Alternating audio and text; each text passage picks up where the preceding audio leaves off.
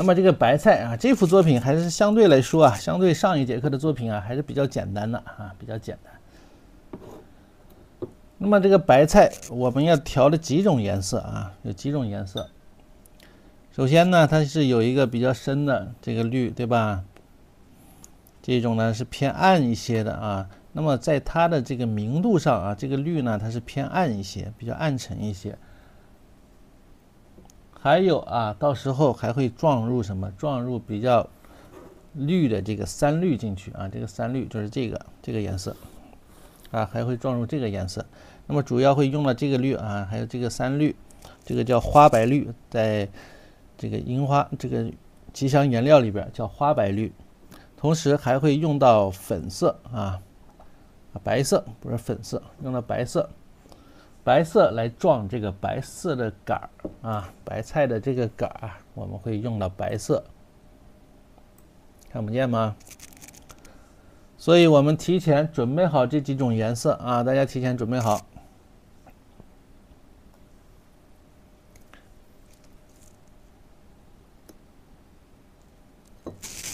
白色、绿色啊，三绿，还有一点赭石，还会用到一些赭石。赭石就是这个颜色了啊？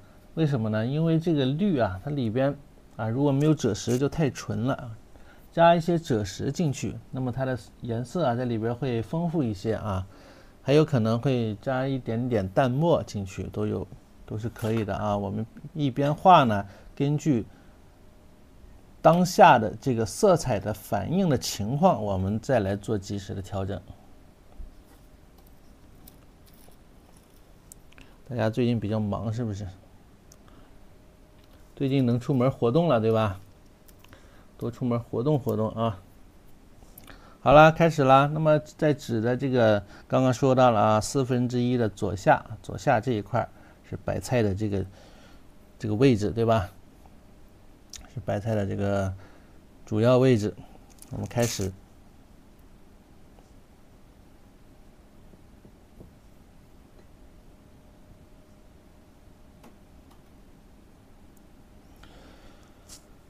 哎呀，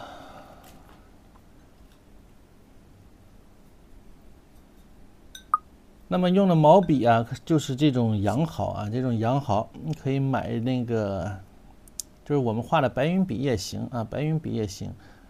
你之前如果手里边有呢，就不需要不需要买啊，就不需要买。如果没有的话，你可以买一买。我们先来勾一下底下的这两片啊比较大的这个白菜叶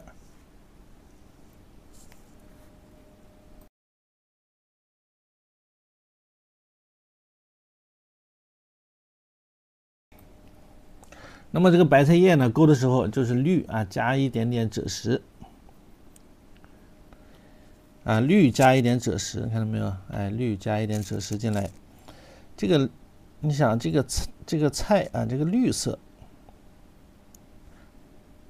它其实是有一些偏冷啊，加了一点赭石之后啊，它会偏暖一些这个颜色。好，那么大致这个位置啊，我开始勾了啊，开始勾了，找准位置啊。那么有线稿的同学啊，你就可以把那个线稿啊照着放底下也行，或者自己描一下也行。没有的同学，你就跟着老师一起徒手勾一勾啊。那线稿我好像也没有发，是不是？哎，我是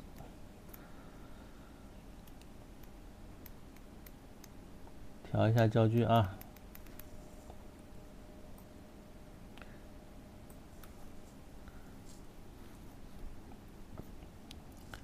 勾一下，首先呢，找准呢这个朝向啊，找准它的一个朝向就可以了。那么这幅作品它是比较小啊，你不要画的太大了，它比较小，尺寸很尺幅不大啊。这幅作品尺幅并不大。那么勾的时候，特别是像这个白菜杆啊这些用笔啊，哎，大家注意啊，有一点像书法用笔的这种写法在里边啊。像勾线似的啊，你可以有一些钉头鼠尾的这种表现，哎，有一点钉头鼠尾的这种表现在里边。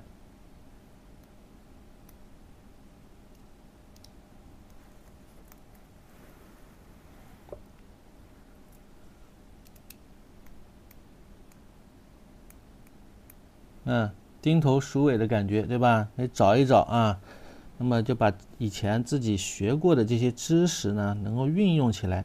运用的多了之后啊，你就自然而然就熟练了啊，就会形成一种习惯。以后在在哪里起笔啊？在四分之一处的指的四分之一处啊，左下角这一块的中间位置呢，其实不是特别的重要啊。你只需要大概的位置准确就可以了，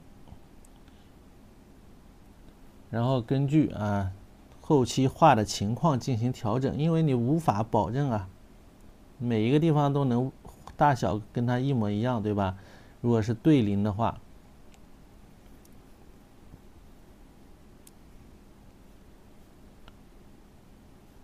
这样呢有时候啊可以自己有一些主动性。比如在画的时候，哎，如果出现了什么问题，比如位置的问题，对吧？大小问题，我们都可以随时做调整。那么其实就是一个改画的过程啊，一个动脑子的过程。时间长了，反而对自己也是有所有一些好处的。你比如我这个好像画的有一些偏高了啊，一会儿小蝴蝶可能画下了啊。好，不要画多了啊，先画这么几笔吧，否则我害怕一会儿小蝴蝶画不下去了。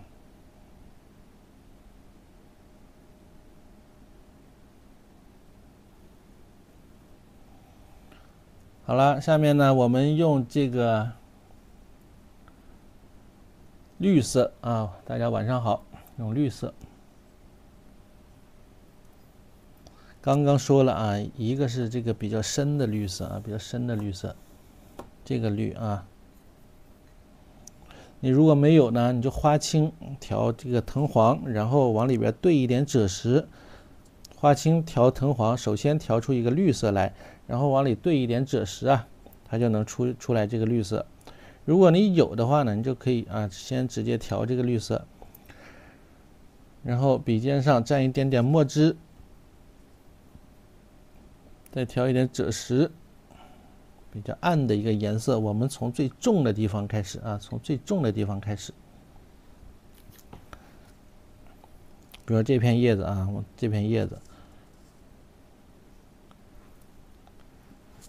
那么点的时候，就像画荷叶似的啊，点的时候用这个点嘟的方法啊，啊，像画荷叶似的，注意它的一个边缘啊，边缘，它的一个形状。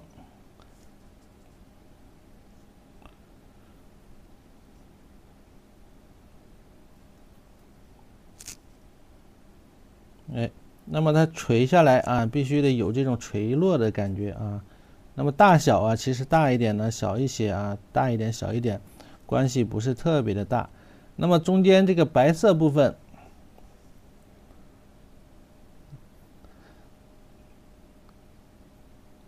白色部分啊，先给它留出来，先可以给它留出来啊，对吧？先可以这样留出来啊。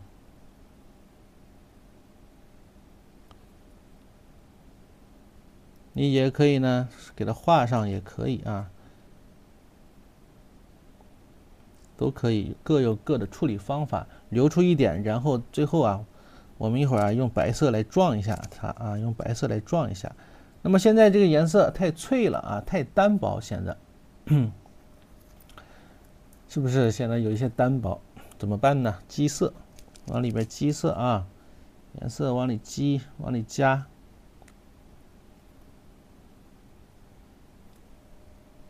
赭石，哎，调一点赭石。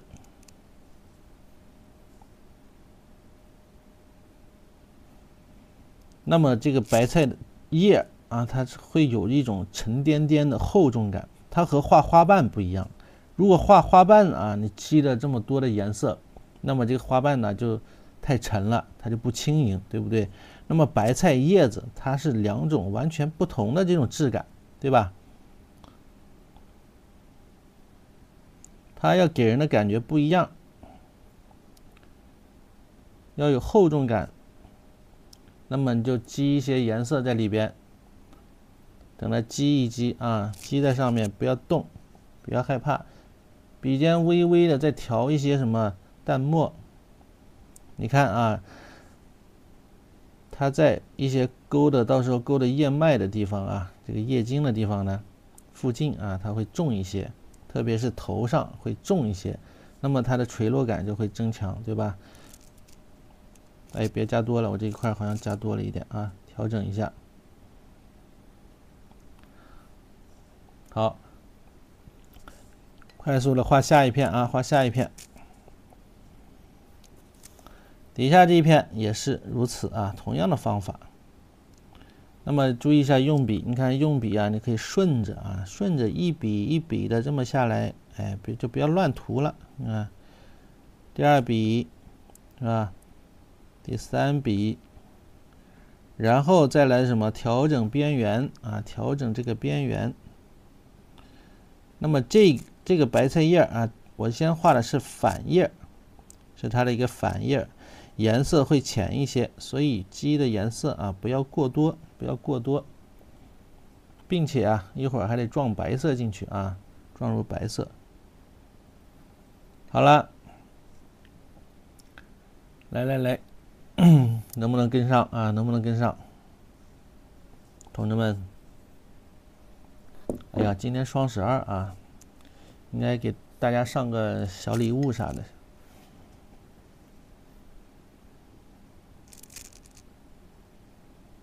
没顾得上啊！好，那么这边啊，里边的正叶啊，正面的它的颜色会重一些。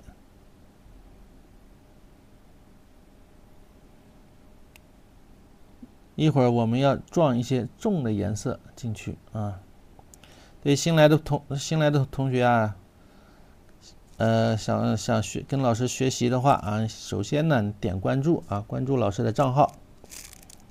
到时候会有推送给大家，上课时间呢，上课内容等等一些啊。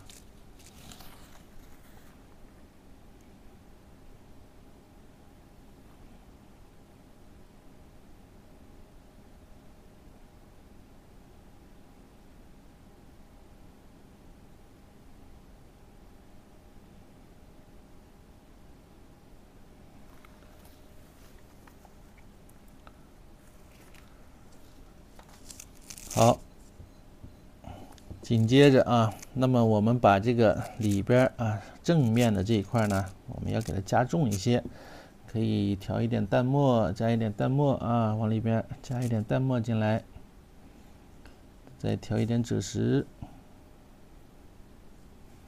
加重，那么它的颜色也会感觉重一些。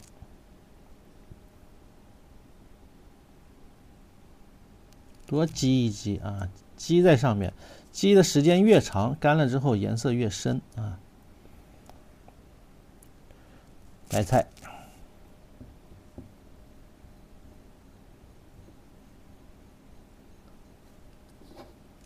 好，那么接着我们来画这一片，画这边的啊，画这边的。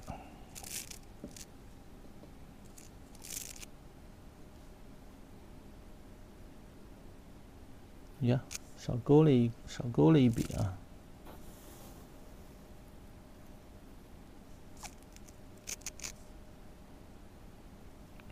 对，如果你画，感觉自己呀没那么容易上手啊，你可以先不要跟画，先看也行。啊，先看，看的时候就能领悟到。领悟到这个什么？领悟到一些用笔的啊，老师用笔的这个方法，对吧？特点以及画画的时候一些步骤，是不是我们在画的时候呢？是问题出在哪儿了啊？那么像像我们以前在学习的时候就没有出生早了啊，出生早了。我如果是我如果是零零后的话啊，我这会儿应该是画的更好了啊，有了这种记录的东西啊，之前哪有这个啊？之前哪有相机啊？我们上学的时候啊，买不起，手机那会儿还刚刚能智能，刚刚能照相，还不清楚啊。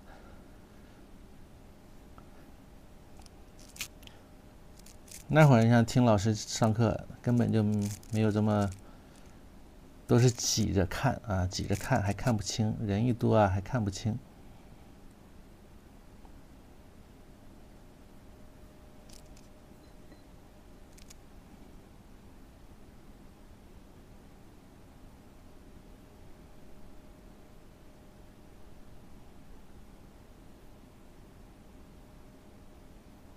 哎，这一片。颜色首先不要太重了啊，我们先浅一些。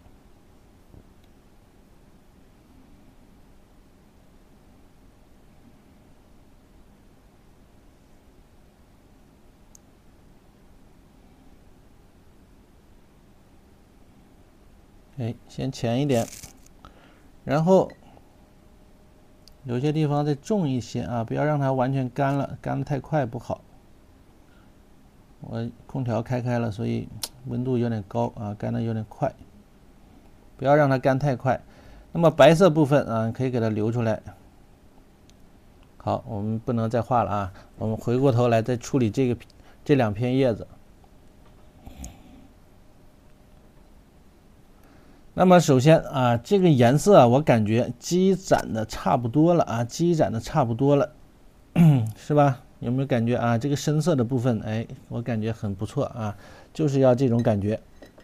那么现在啊，白色登场，白色要画白菜杆儿。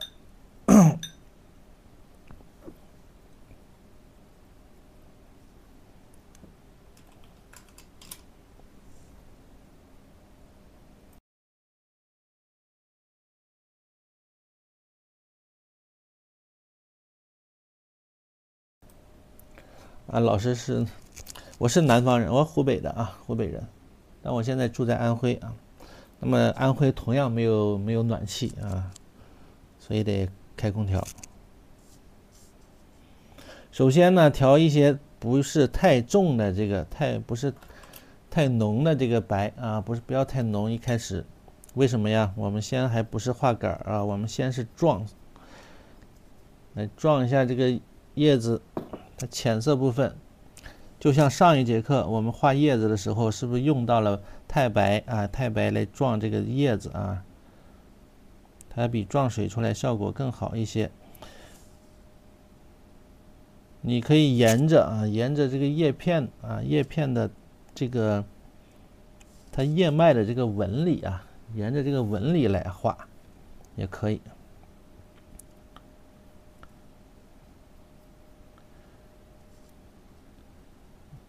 这个就像画荷叶似的啊，其实就跟画荷叶差不多。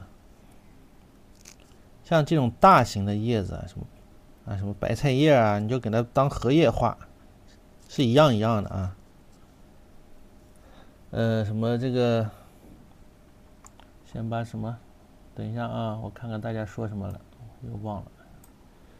先把，先把纸裱起来，再画。会不会补？我这就是裱好的呀。我这个啊就是裱好的啊，我这个就是裱好的。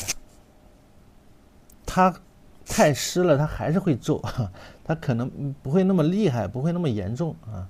还以为我是山东人啊。哎，在北方上学，在天津上的学啊，应该没有一点，应该天津话不好学，没学会。东北话，那会儿在大连上班的时候啊，那回家来都是有东北口音，东北话极具感染力。好了，你看看，那么我这个白色啊，特别是这个反叶的白色，你就按照它的这个叶脉的纹纹理啊，呈这种散开的放射状的来点这个白，效果就比较好，对吧？哎。然后呢，比如白与白之间啊，这个缝有缝隙的地方，哎，我再把这个颜色点进去，给它加重一些，那么它就会有这些微妙的变化啊。这些你别感觉啊，它不起眼啊，不感觉是无所谓吧？其实啊，你都注意到了啊，注意到之后，对你画画画面的最终的呈现效果是非常有大的影响的。一幅画耐不耐看啊，就在。就是在这些细节的地方啊，还没完，还没完，继续啊，还没完。现在可以用白色了，来画这个杆儿。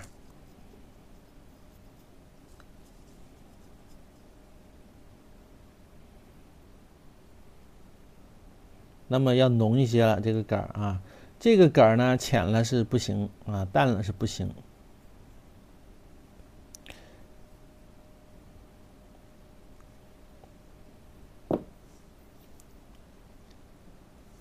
来，那么撞这个白怎么撞呢？直接画吗？直接画不成了图了吗？对不对？不成了填色了吗？那么刚才画叶子的这支毛笔。蘸水啊，蘸清水，你刮一刮，把颜色刮掉啊。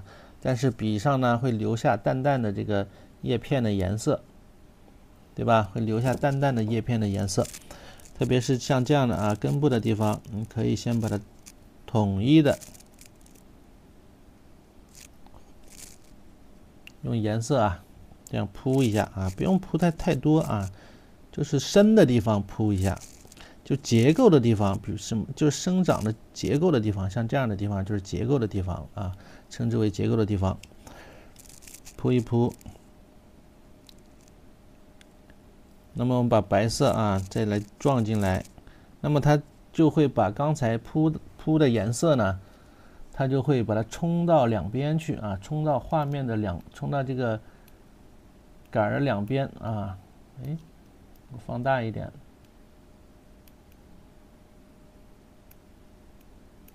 看啊，它就冲到两边，那么这个白色它不是一个单纯的白色啊，不会显得那么死板、死白、死白的，对吧？哎，它里边就会有掺杂着有一些颜色的变化，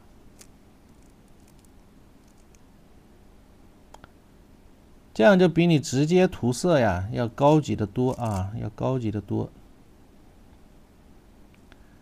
也不要涂下来了，你看底下这一块，我先不管它，对不对？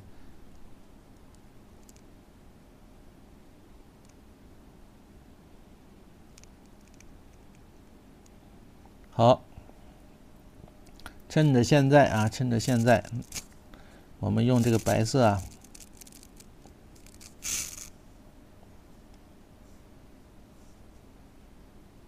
白里带绿啊，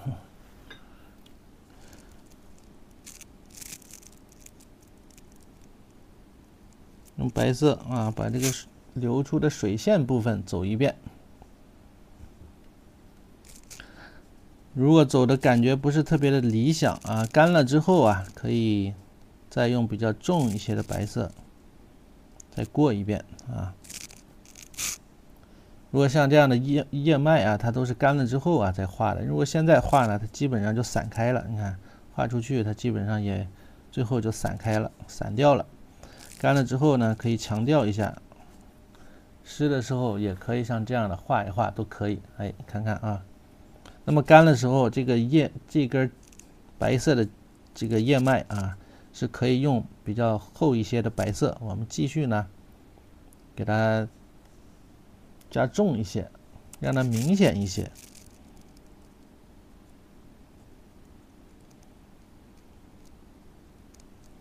好，现在就不要动它了啊，现在动它意义不大。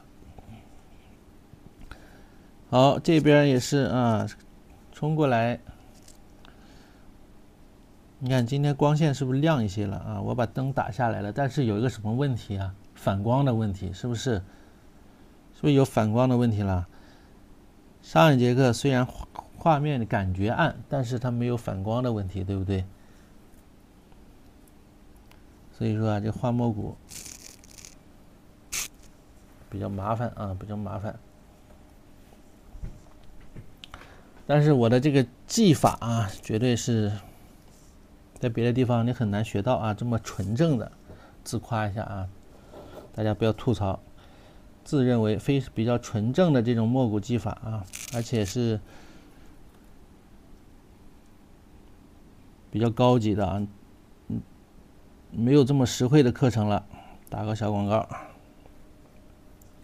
你想想啊，你去搜一搜，在在抖音上，稍稍正统一些的价格都比较贵了。咱们是因为啊，都是都是老相识了啊，咱都被人割，咱都是被人割过割过一刀的人啊。我也被割一刀，你们也被割一刀，都是韭菜。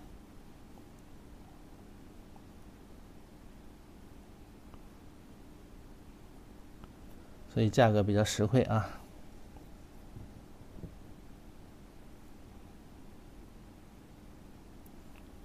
好了，那么这个白菜啊，这片叶子里边啊，我现在我要感觉它太灰了，都是难兄难弟啊。我感觉这个颜色太灰了啊，不漂亮，怎么办呢？三绿啊，三绿要登场啊。这个三绿的作用在这个里边呢，哎呀，不能说是不是啊？啊，完了，我就害怕回头又传不上去。谢谢提醒啊，说错了，大哥。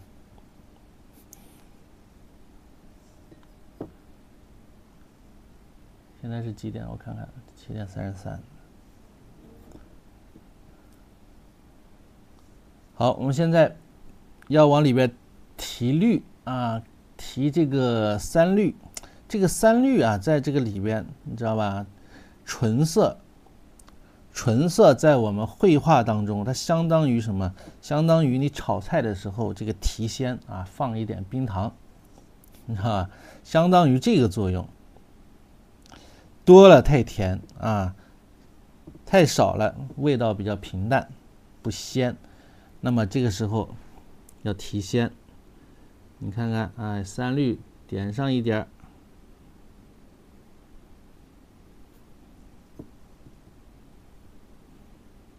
就，干了啊，应该是，所以说不能画太多，画多了之后，我们再来统一处理的话，房间温度有点高，那么大家如果是在北方的话，也可能会面临这种情况，屋里边温度太太高啊，干了太快，所以画的时候注意啊。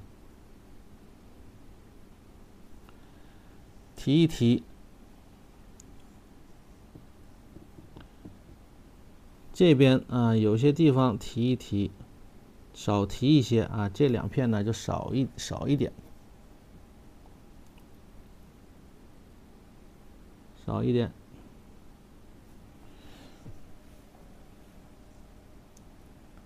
哎，少一点。那么这一片啊，叶子呢，有一些平了，就是重色还不够。那么我们继续啊，来给它加一些重色进来，就是把刚才的这个把叶子的颜色啊，在里边再加一加，再点缀一下，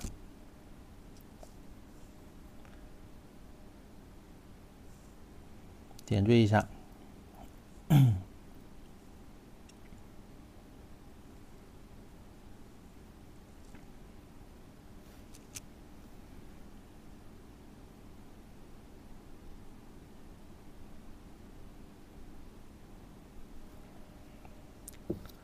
现在这个太，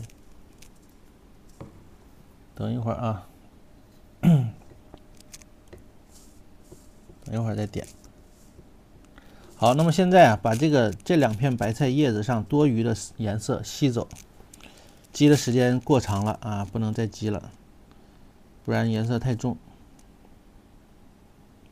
表面的吸走啊，你不要下狠手啊，不要下狠手。啊，不要一笔下去全给吸走了，就表面这一点给吸走就行了啊，不然的话，它颜色就变成一块空白的了，颜整块颜色就被挖走了，那不行。吸走之后，我再给它补上啊，我再调一点重颜色，比较调一点比较浓一点的重色啊，比较浓一点的重色。哎呀，这个绿啊，调一点比较浓一点的重色，相对来说比较浓一点的重色。提一提，你看看，把这个方向啊，给它提出来，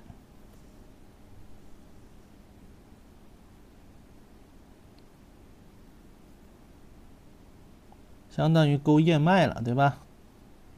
提出来啊，顺道啊，有的地方颜色不够，积攒一点啊，积攒一点啊。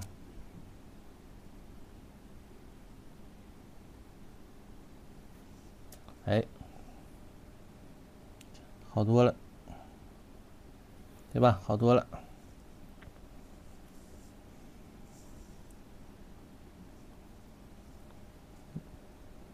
就是浓一些的这个重色，啊，比如其他的两片叶子，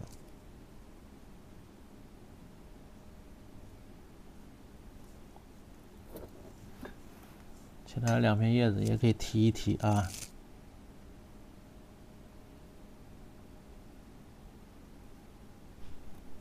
看到没有？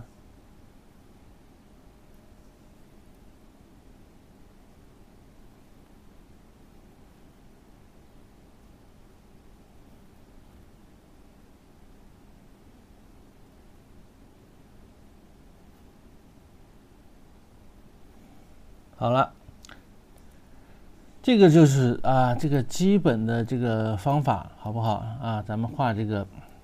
白菜叶的一个基本的方法，那么老师啊，通过这三片给大家做了一个详细的讲解。下面呢，我们接着啊，要稍稍加快一点速度啊，加快一点速度，把整个的这个快速的给它铺铺完。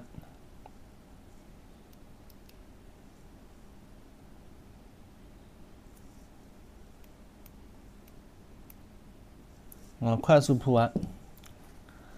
哎呀，我说怎么看的这么小？我这个屏幕上我没有开全屏，看的这么费劲，也看的不清晰啊。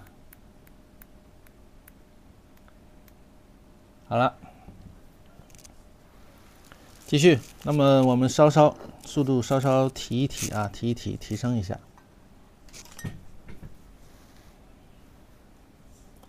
提升一点，先勾啊，同样啊，先勾。那么勾的时候，你就用这个狼毫笔呀，就可以啊。那么勾的时候，就是一个比较重一些的颜色，就是刚才呀画叶子这这些比较重的颜色，你调这个颜色来勾。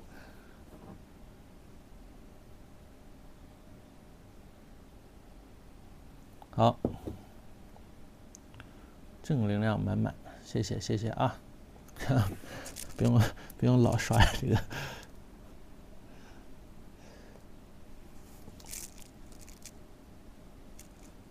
好了，那么重要的啊，找位置，这个位置呢，你就看着这个，感觉差不多，你就可以上啊。不要害怕，这其实是一种非常好的锻炼啊，徒手这么对临啊。真正的对着这个稿子这么去临摹，这是一种非常好的锻炼造型的能力啊，锻炼造型的能力，以及呢，咱们古人说经营位置，对吧？你可能临着临着啊，临跑偏了，对吧？没没画准，没画准呢，你就得想办法补救。那么补救的一个过程当中，其实就无形当中啊，锻炼了你的这个造型的能力啊，经营位置的能力，构图的能力啊，不是造型能力，构图的能力。那么我的这个这个能力呢，就是这么练出来的啊。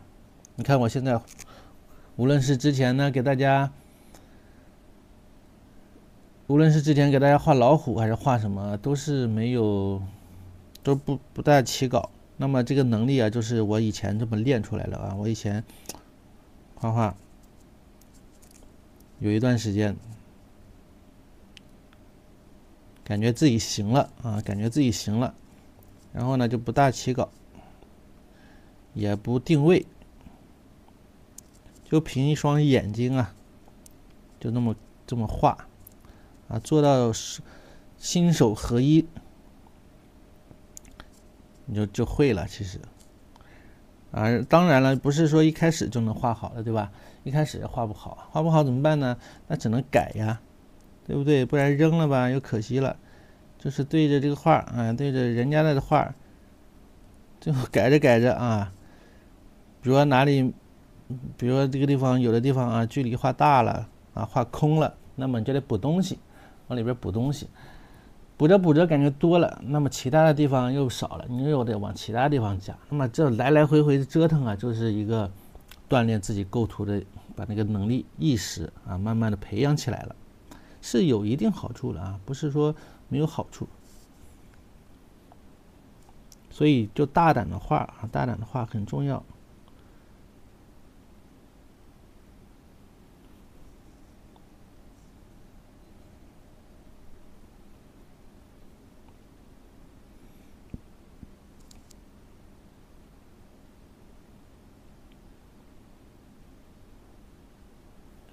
就像这样的小墨骨画。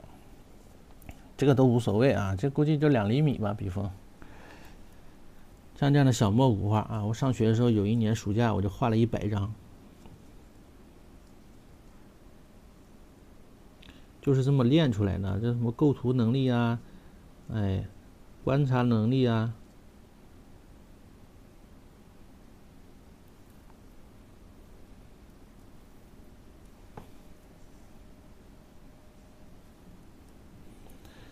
看看今天能不能啊一节课给它画完，如果画不完呢，我们下一节课再给它画完。抽一部分时间画完之后啊，再画一张小画。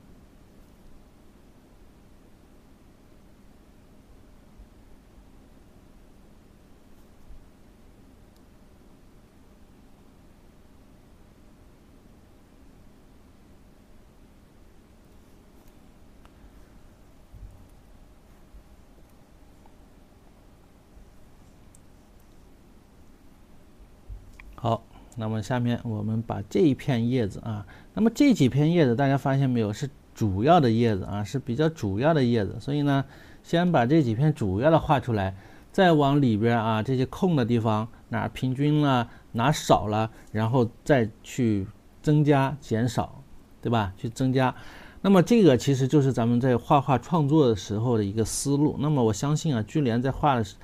画这幅作品的时候，他也是首先呢画了这几片大的主要的叶子啊，有了一个主要的这个势之后啊，画面的势有了之后，再来慢慢的添加这些小的空白呀，怎么让它呃又丰富丰富画面，又能够呢与呃构图和谐，所以这个啊是一个啊绘画的一个思路。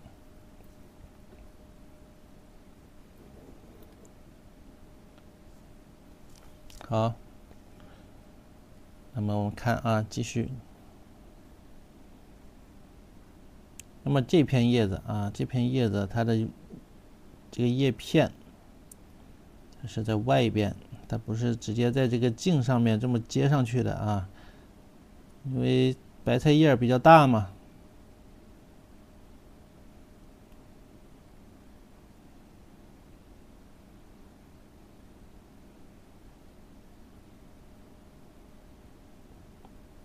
呃，这个小角啊，这个小切角啊，这一块啊，哎，注意注意这个小姿态，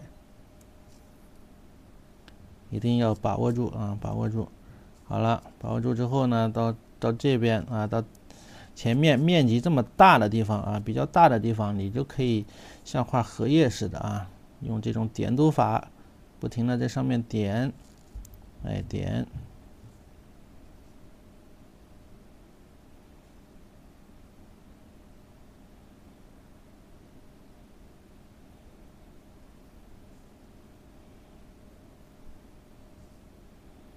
注意这个起伏，有几个起伏啊？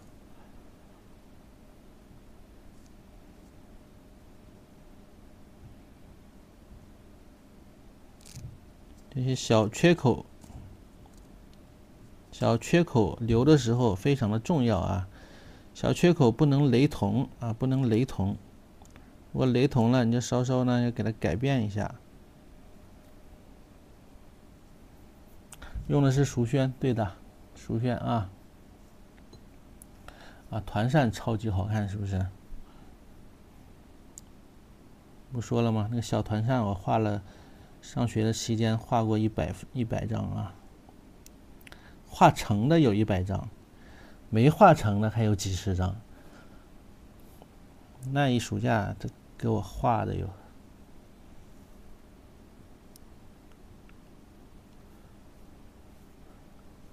那功力啊，就是那么大幅的提高，就在那一暑假。哎，大家看啊，这个水啊积多了之后，你看边缘就是特别的明显，看到没有？明特别的明显，像勾过线一样。所以呢，有时候就不要积的太厉害，否则也不也不不是那么好看。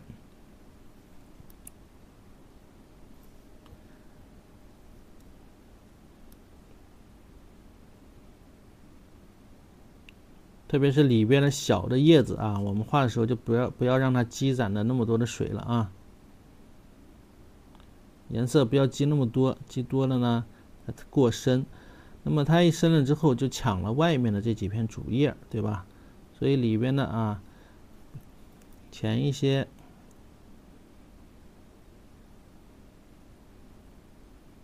小白菜叶，它有时候你这就像画小芭蕉叶似的啊。像芭蕉叶似的，那么画的时候，从两边呢往里边画啊，小笔触一点一点的点，也挺有意思啊。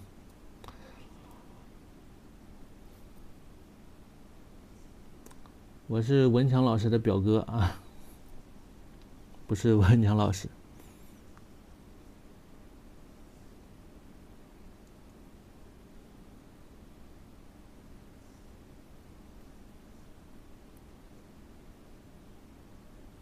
哎，像这样的啊，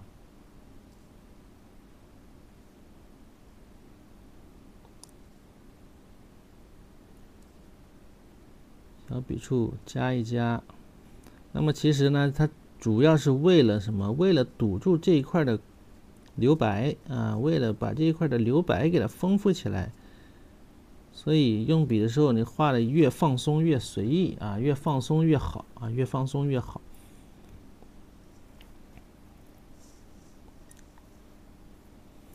现在用的是什么颜色啊？就是我这个这个颜色啊，就是这个颜色，这个绿绿啊，里边加赭石啊，这种灰灰的绿色啊，灰灰的绿色，有这个绿，哎，加赭石，暗暗的绿色。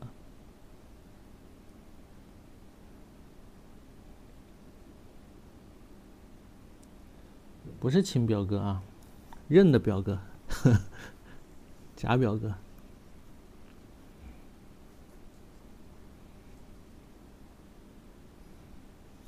亲表哥。哎，画哪来了啊？画这儿来了。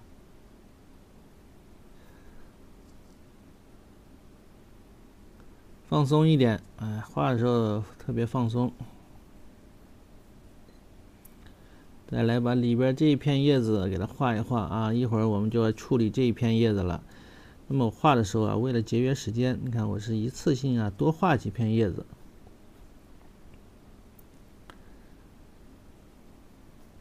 无所谓啊。起形能力，你想中国中国画以前古代人都没有学过素描啊，谁都没谁都没有起形能力，对不对？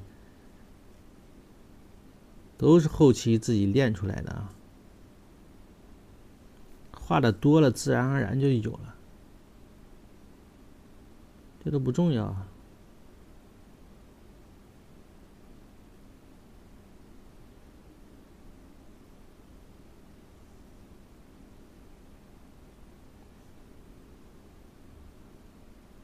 哎我还没有小黄车吗？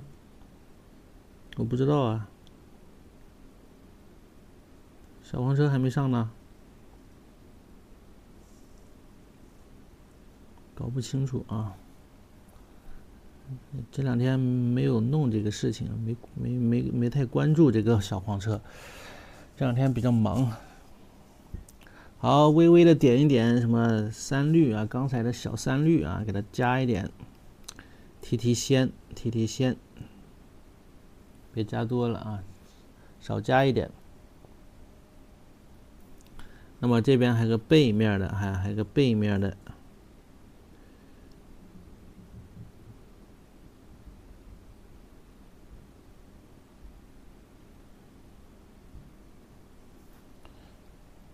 也加一点小三绿啊，提提鲜。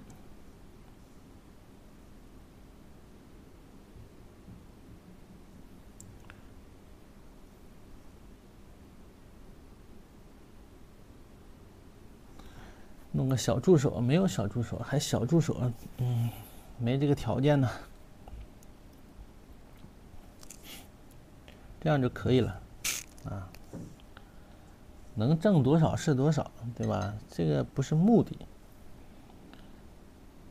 目的是跟大家交流交流、聊聊天儿，顺便挣一点钱。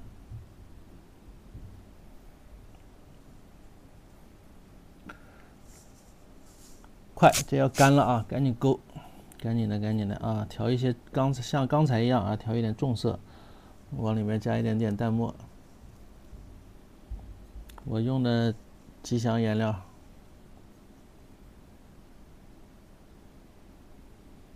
可以啊，来当书童。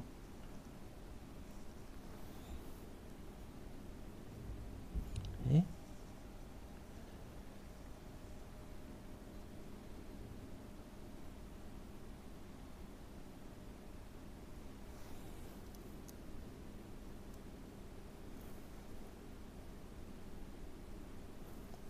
啊，重的地方呢，你就往里边积一积啊，积一积，加重一点。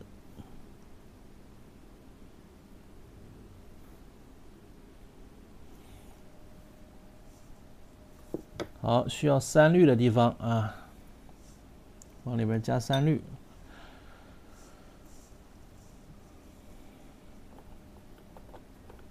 嗯，这个课呀，其实。一开始啊，嗯，我没有太想以这种形式啊，以这种形式来授课，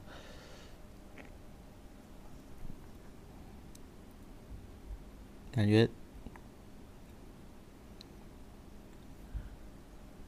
感觉有点奇怪啊，但后来想通了。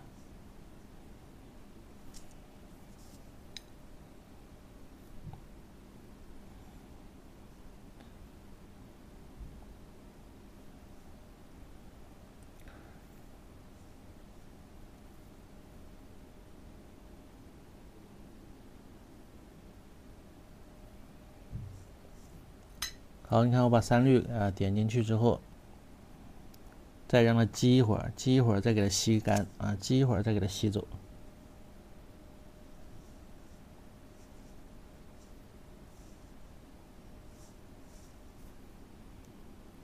想要的绿一些啊，你就多积一点，就往这个。现在我这个纸面呢已经鼓出来了啊，凹凸不平的了。所以没办法像上一节课画牡丹似的啊，对吧？没办法像那样的了，因为我们积的水比较多。好，继续啊，继续画，继续画。呀，这片叶子浅了一点啊，怎么干这么快呢？像这样的，如果你想第一遍你感觉不太满意，想要重新画的时候，你特别得注意什么？注意这个水。注意这个边缘，你如果没有对准，呃，很容易出现两个边儿啊，就是干了之后它有两层这个印记啊。我我崩板了，是今天因为积水积的厉害，它就是会这样。另外一个可能是跟我今天板子崩晚了啊，今天因为时间的问题，板子崩晚了，然后我就用开着空调放屋里边吹干的啊，吹干的可能不大好，应该是让它自然晾干会好一些。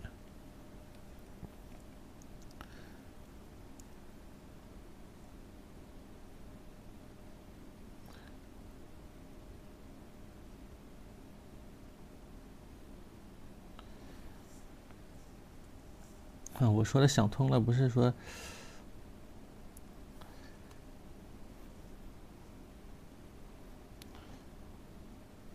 嗯，画哪来了？啊，这个这片叶子只能是画高一些了啊，画高一些了。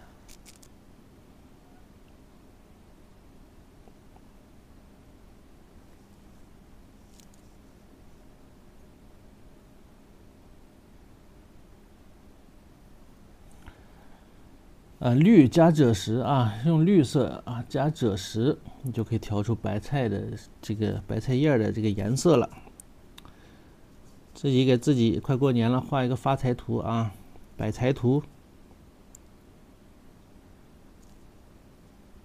沾沾喜气。看这生活呀，今天画发财图。家里竟然漏水。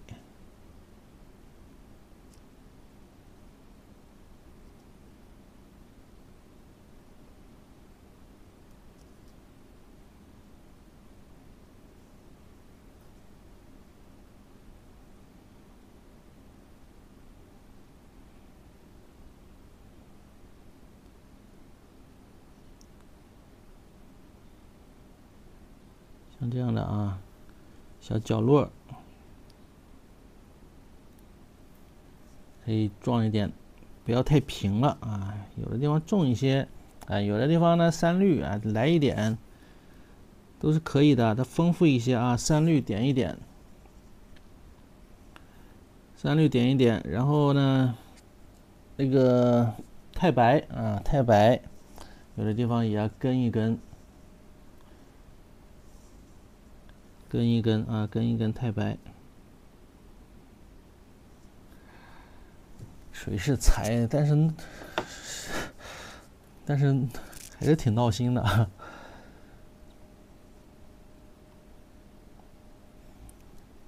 谢谢大家啊，谢谢大家鼓励。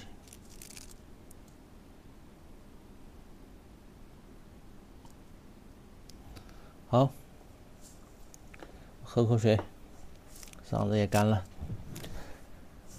谢谢大家。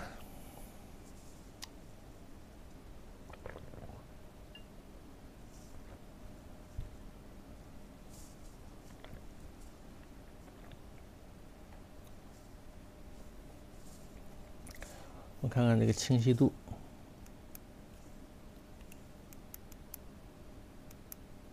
嗯，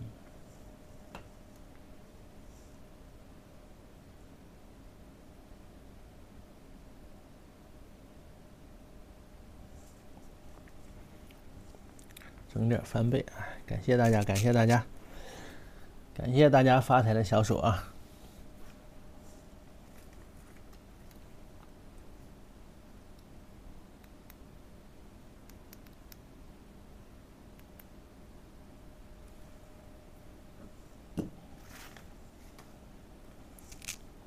好，继续啊！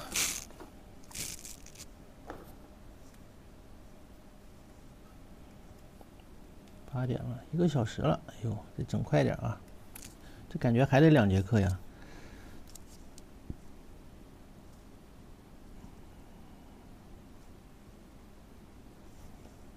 这个颜色现在用的有一些深了。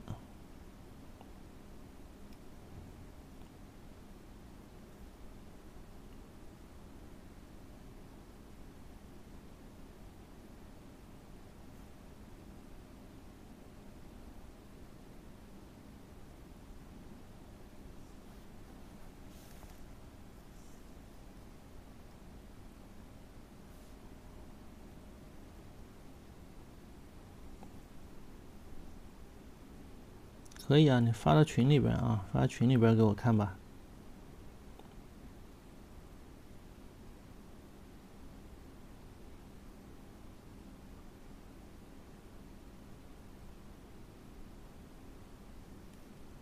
那个猴子，啊，那个三只猴。那个课，那个稿子呀，那幅画呀，都是我自己。自创的啊，自己这个创作的。你想想那个课程啊，被卷到什么程度了都。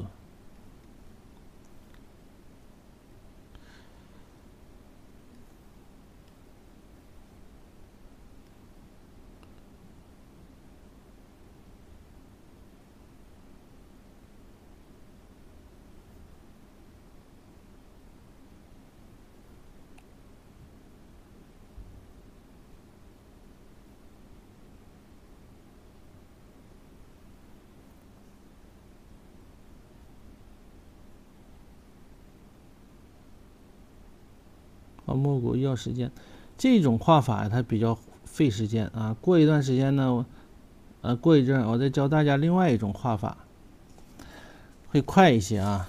还有，它画法有很多种，明白吧？你想就看你想学哪一种了。我的意思啊，我这个意思呢是各种画法呢都想给大家展示一下啊。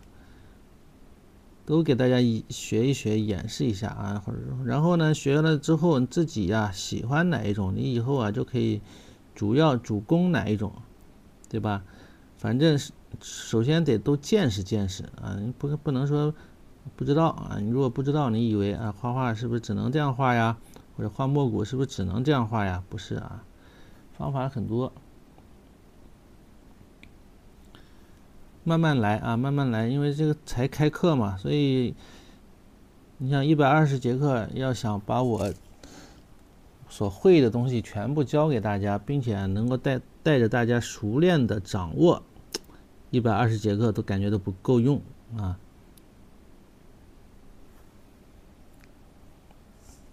今天这个也是是墨骨，它只是比较细腻而已嘛。还有一种，你像比较画的比较粗放的这种墨骨也有啊。多学一学啊！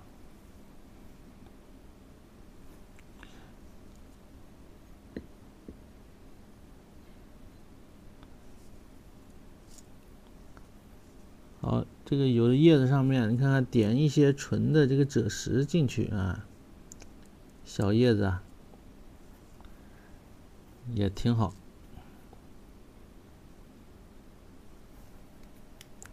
干了太快了，哎呦，又干了。把空调关上吧。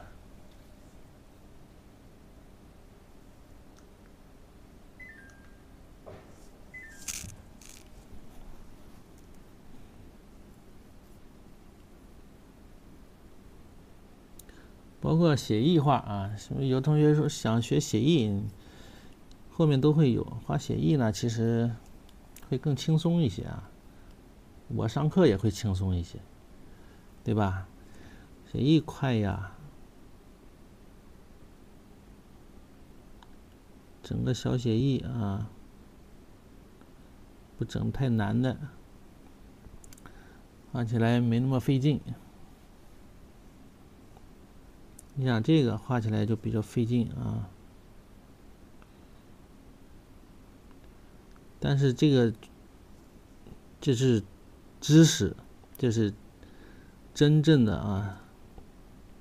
这教的都是都是干货，都是知识。你像我们上学学这玩意儿得花多少钱啊？一年学费就得一万，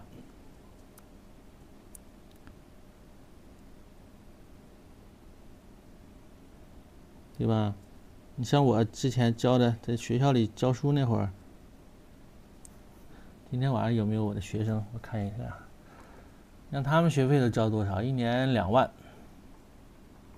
也是我教，并且还没有，不可能教的像这样这么仔细啊，这么长时间，因为老师那是各个老师啊，不同的课，不同的老师带，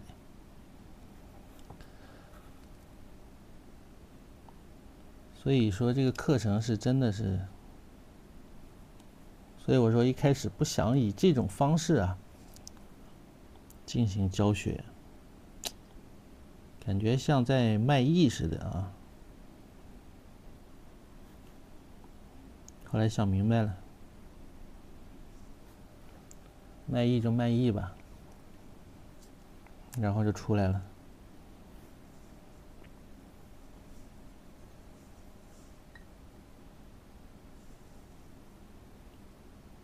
干太快了啊！这个都快干了，趁着没干的时候，我们要点一些啊三氯进来。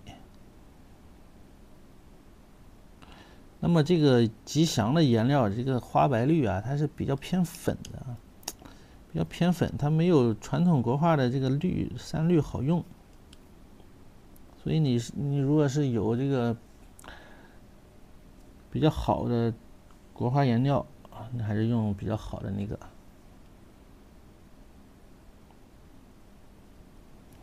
生活不易啊，都不容易啊，谁也不容易啊。现在还好，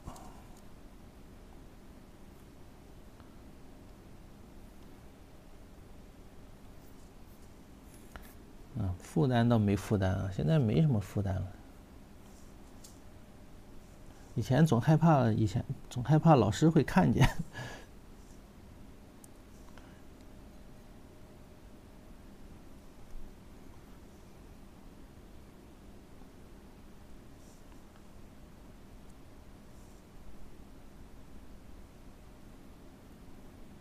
以总害怕这个，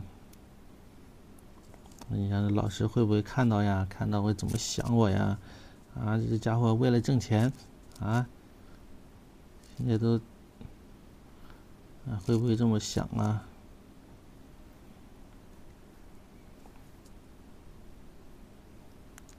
嗯。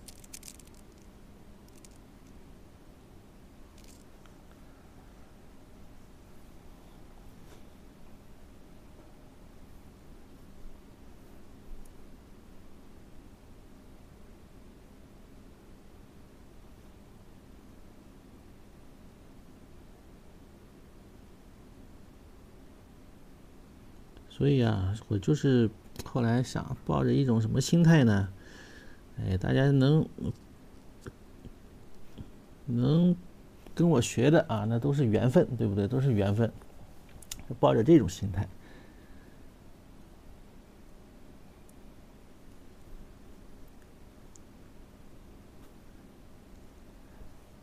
多与少无所谓啊。你如果没报名，你能一直啊一百二十节课，天天。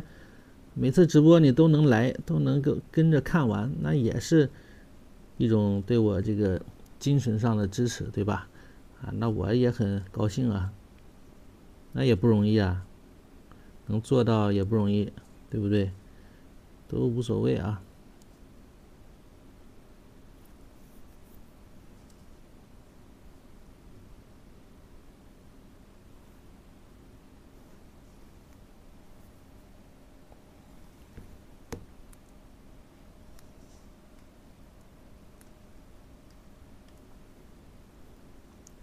里边一些小小的啊，这种小叶子啊，它画的随意一些，你都看不清了。其实到里边啊，这些藏在里边的，那么看不清的情况下怎么办呢？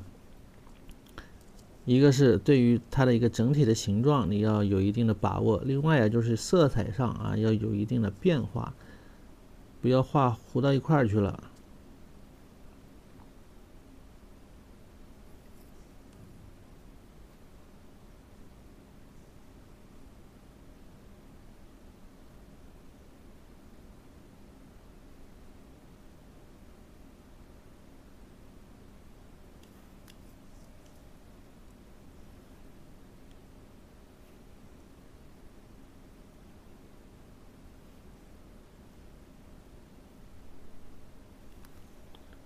好，把这个缝里边再填一填。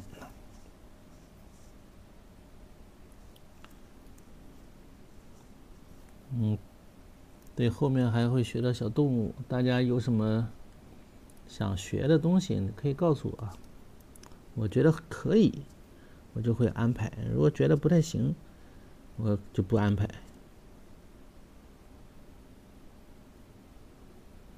尽量满足大家。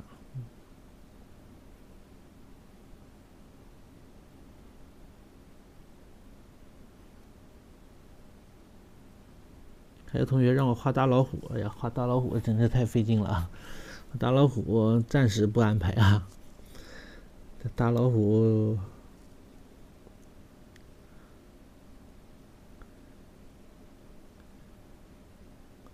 啊，哎，画不开啊，画了镜头下也呈不出，呈现不出来。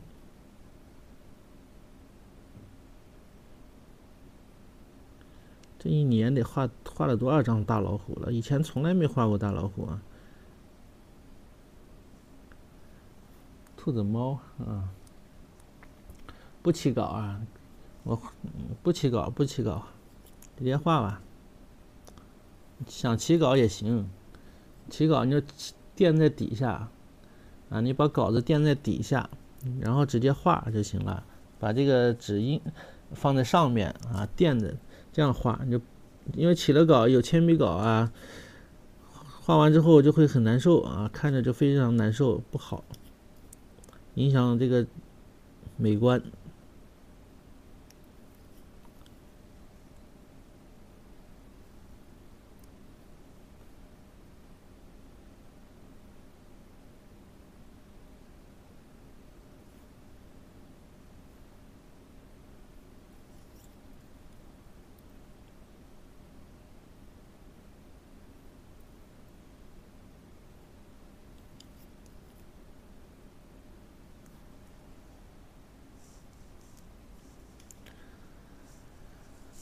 再来一点三绿啊！我用这个这个三绿啊不好，太太浅了。我挤点这个三绿啊，挤点这个三绿。嗯，其实咱们这个颜料啊，这个国画颜料啊，除了有几个个别的颜色它不太好，不太好用啊。画这个墨骨的话，它那个杂质比较多，其他的还行，其他的都还可以。比如说什么赭石这样的不好用啊，花青这样的不太好用，画写意没问题，但是画墨骨的话，画工笔的话，它就不好用，大家就不要用。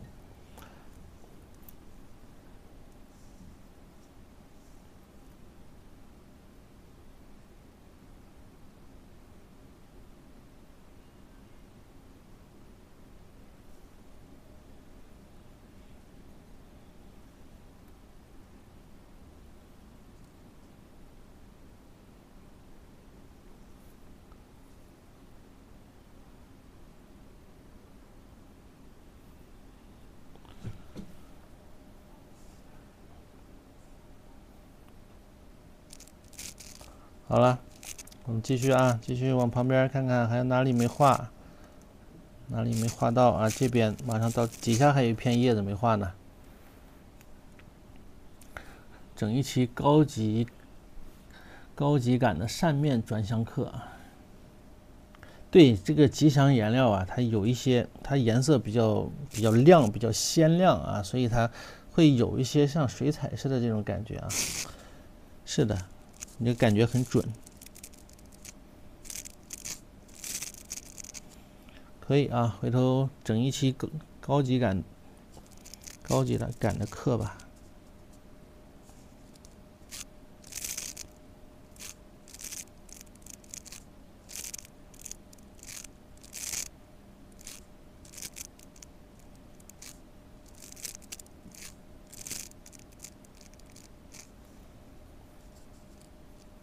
可以这样接色，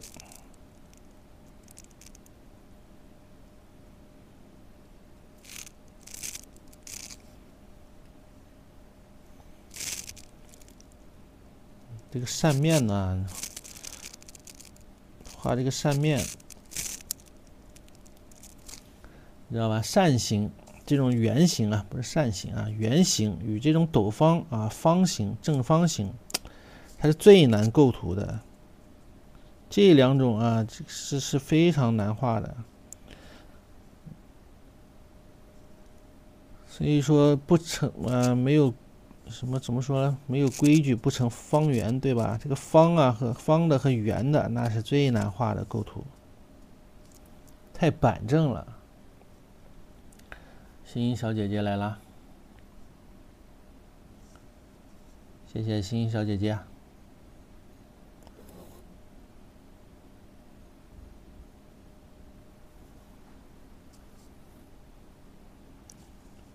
你要是能把这个什么方的、圆的啊这样的构图，你你给画明白了，那真是什么长的、长条的啊，像这种调平的，那是那跟玩儿一样啊，小菜一碟。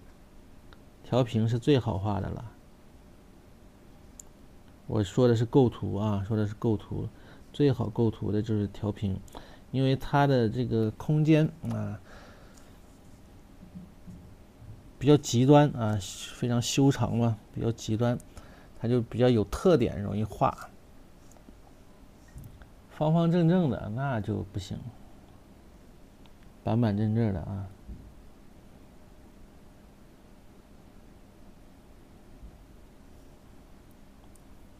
谁出师了？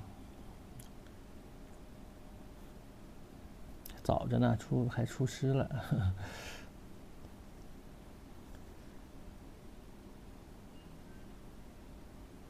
厨师还早着呢。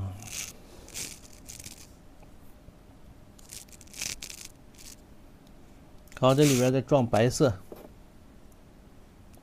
八点多了，又得两节课了啊。搞不好又得两节课了。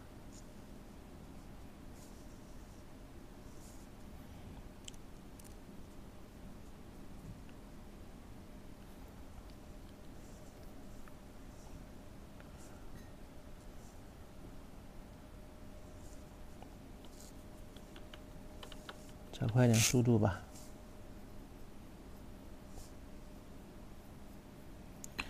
居连的东西非常的。里边啊，里边东西它的这个笔法啊，以及构图、构图的特点等等，非常的讲究。所以你学他的东西啊，你学呃学一学，对自己的提高会很很大啊，会很大，有很大的提高。就得学好的啊，高端的东西，学了之后你就能提高的很快。你再看看其他的有一些啊，市面上的那种行话呀，你就就入不了你的眼睛了啊。否则的话，你看到一些画，哎，哎呦，真好看，真好看。其实格调不行，对不对？多看啊，多看。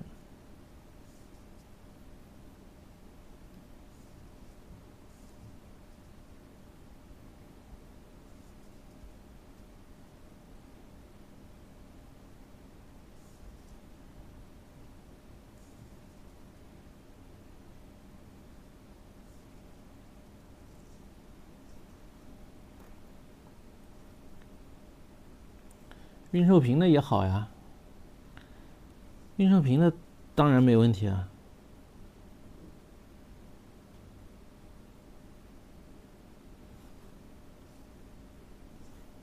运寿平到后面我们就会学它的了，啊，运寿平的更细啊，它更细，它的那个细的都像染色似的，像画工笔似的。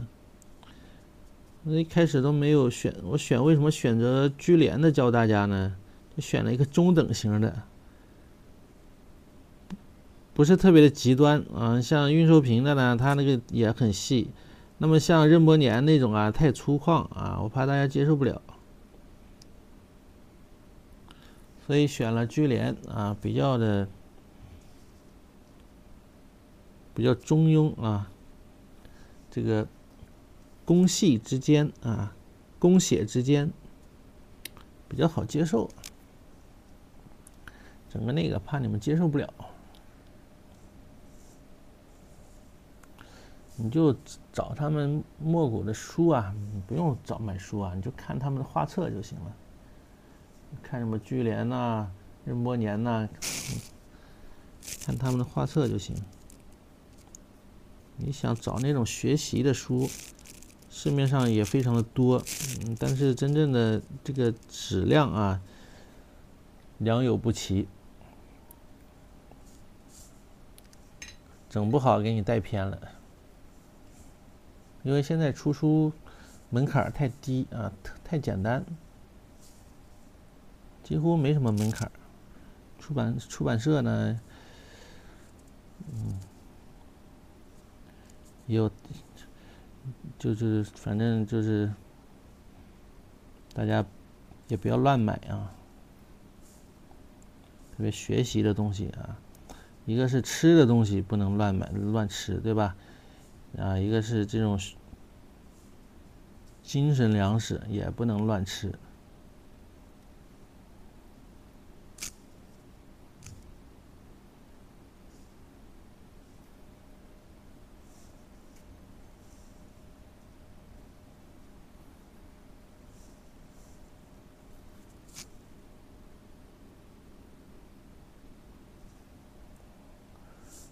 书柜呀。现在这个图片时代啊，视频时代，纸质的书就显得，特别是画册之类的啊，印的好的呀，特别的贵，确实特别的贵，好几百上千一本都有可能。所以大家如果是哎能够找着这些图片啊，你就看图片就行了嘛。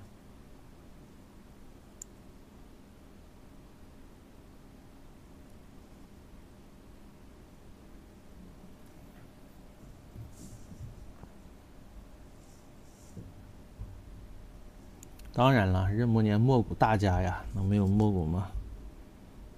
墨谷不要画的太好了。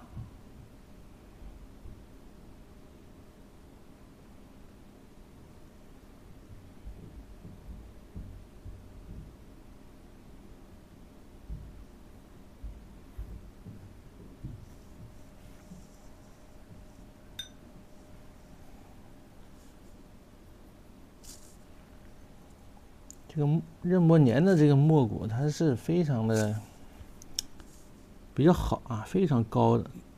你学它的墨骨，对你画写意画那是有非常大的帮助啊。因为有的同学一开始你画这个写意画，你不一定能掌握好笔墨啊。这种笔墨的训练，绝非是短期内、短期啊、短时间内啊能学会的。它它需要长期的这种啊，一个是你比如手感呐，你。画画的时候找这种手感方法，另外一个就是你对笔墨的这种认知、体验、体悟啊。那么任伯年的他的这个，一开始掌握不好，你可以学习他的任伯年的这个呃墨骨画啊。他的墨骨画有时候偏工细一些啊，有时候特别粗犷一些，偏写意一些啊。但是有一点什么好处呢？他的用的纸啊，呃，有时候是在熟宣上。熟宣相对于生宣要好掌控的多，但是他在熟宣上，他画的时候，他也同样会注意笔法，注意用笔的方法啊，所以你能清晰的看到他的一些这种用笔的方法啊，你能够推推断出来他是怎么用笔、怎么画的啊。那么对于你画写意画，你回头在生宣上再画的时候，你就会就会用上，对吧？你就会学会啊。所以我是比较，哎，推崇这几位画家的啊。他人物也画的好，那人物画的也是相当的厉害，所以说他是属于天才型的画家啊，巨匠啊，五百年来，五百年来的大师。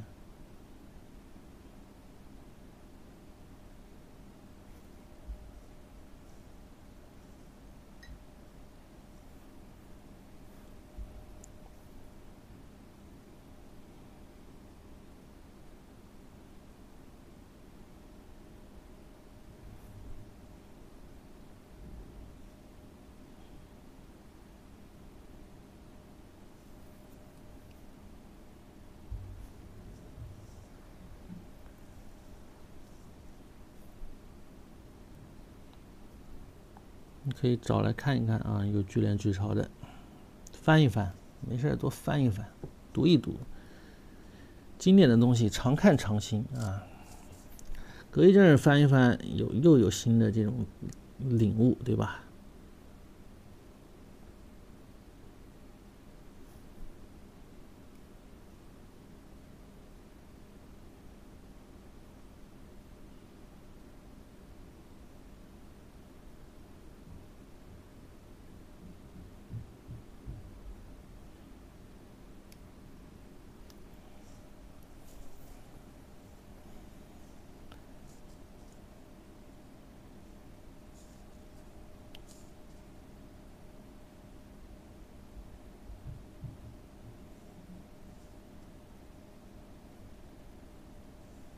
嗯，这些猫头鹰啊。说着说着，我又说多了，光说光光给别人做宣传了啊。他俩要还活着，我做他俩的销售，都比卖我自己的课强。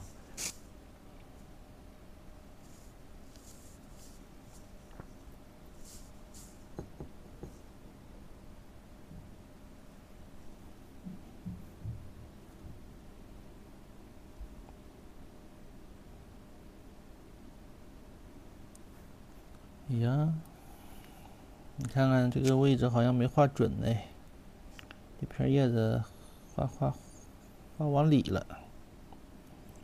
那么这片叶子就要从这边交叉啊，我这片叶子呢画的靠近，靠的太近了。那么这边我就从这边交叉，不能从中间交叉了，中间交叉不太好看啊。瞅一眼，它是这样。所以啊，这个时候遇到的情况，这种穿插关系比较复杂的时候，你就得自己随机应变了啊，就是考验自己的时候到了啊。然后呢，这边还有一片，哎，这么交叉，你看，比较复杂，不要交叉到点上了啊，千万不要交叉交叉到这个焦点上了。就跟画画兰花呀，画画兰草啊，就是一个道理了。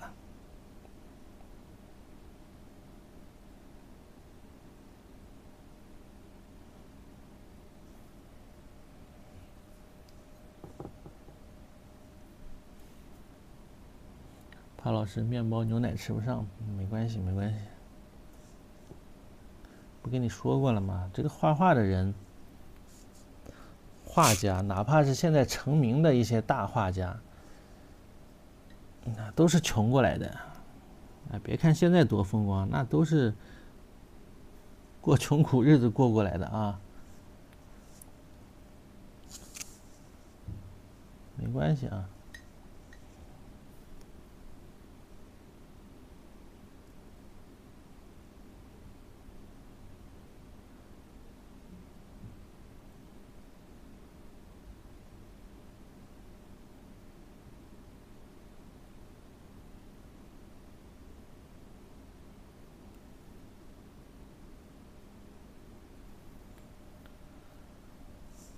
对，最终作为一个人呢，最终需要的就是精神粮食了。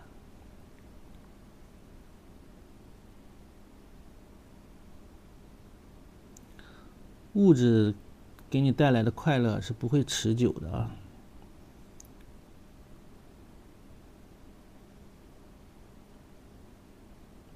就精神上的带给你带来的这种快乐。是能够支支撑支撑你啊！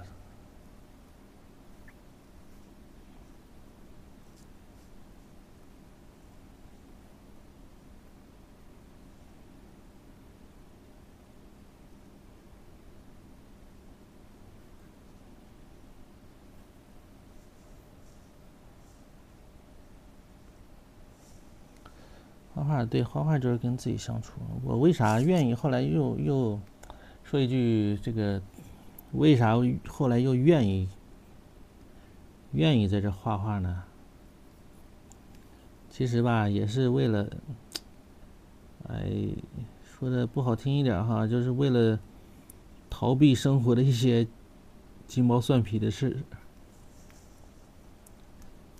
每天能给我两个小时的时间啊。自由的时间，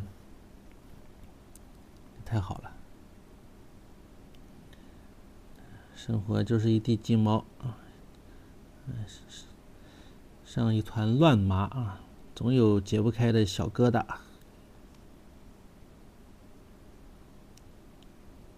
你看，如果我不上课，我天，我我我就得天天呢，就是。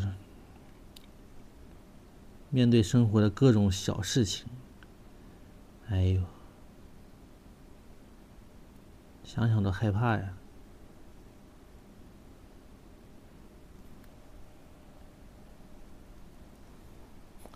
不用带屁孩是一方面，只是一方面。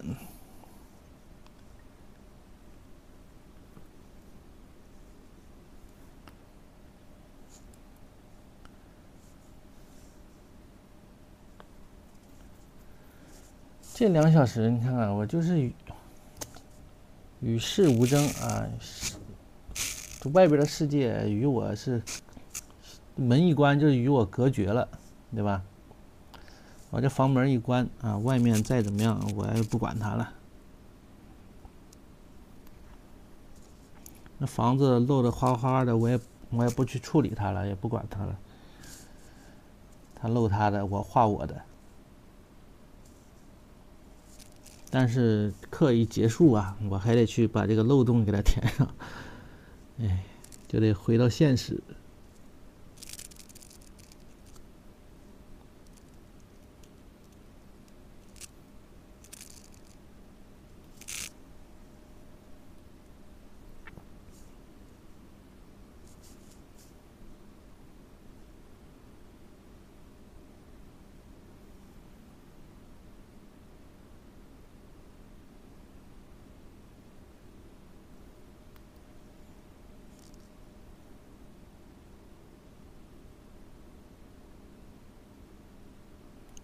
对得上啊！这个里面太错综复杂了啊。那么画的时候，首先呢也是得分组，自己呀最好能够自己给自己找一找，分析分析，然后自己给分一分组。那么这样你你自己画起来，你心里边就更清楚啊。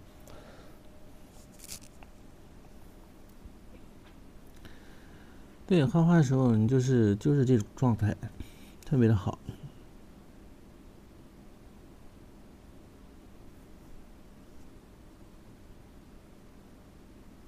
外边电话打破了，我也不接，不管他，这都数不清楚有几颗白菜，你自己数数。我感觉两颗吧，主要的就是两颗嘛，这边一颗这样的，对吧？这边大的一颗这样的，哎，感觉主要就是两颗，其他的都都小分支。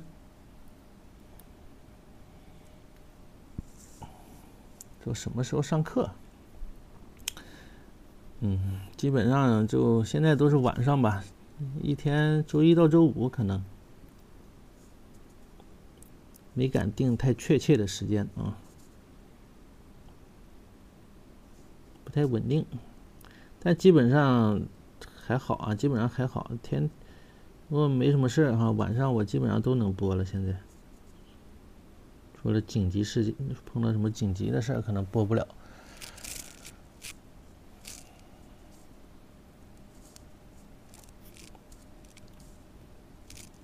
好，把这些叶子啊，再给它处理处理，用白色啊，把这个杆儿这一支啊，我们先给它完成啊，完成这一支。这节课画不完，我们下节课继续画。我小看这个小白菜了啊。没想到也挺费劲。你像这样的啊，他画完之后呢，他是用画完之后啊，再勾啊这些重的地方，这叶脉的地方，哎，再提一提。浅的用深色勾勾一遍啊，深色勾完之后啊，用浅色勾一遍，用白色勾一遍，就是这样。他就比较精神啊，比较精神。所以墨古，你说完全没有线吧，也不是啊，它也有线。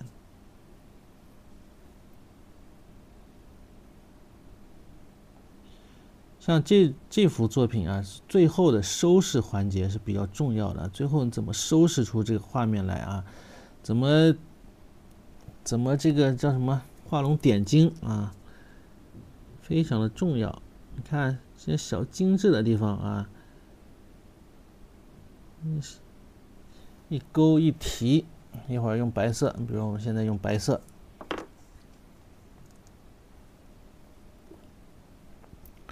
同样，这个杆儿，我们先啊用淡淡的这个绿啊过一遍，淡淡的绿色过一遍。这样能保证它能够衔接起来啊。你看这两个这两个杆啊，它比较重叠，那么它就是有一深一浅，对吧？上面的呢，就是完全就是有颜色的了，就用颜色来区分它。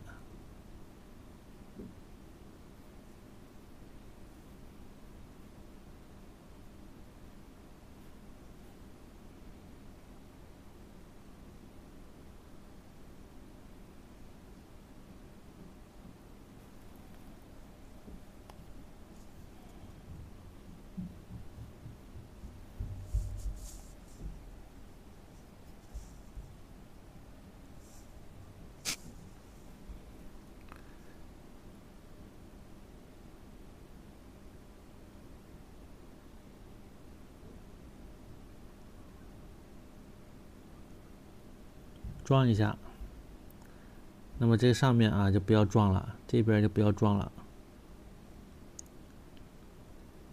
把这这个提一提啊，这个颜色提起来，把这个白色提起来。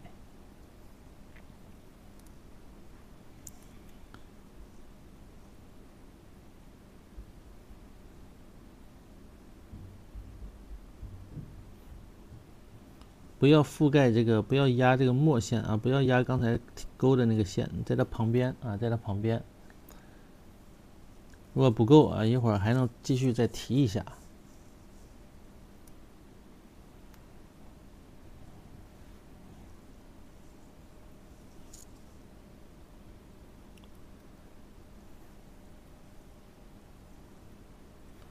啊，真的，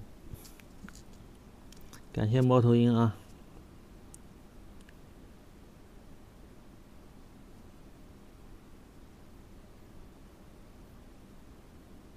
猫头鹰比我还操心，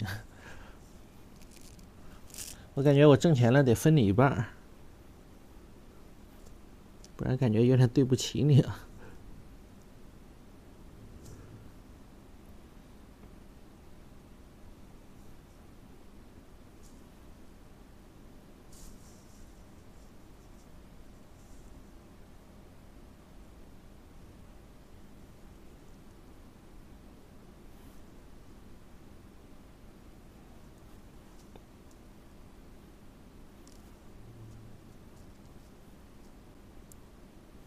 哎顺势这么一勾啊，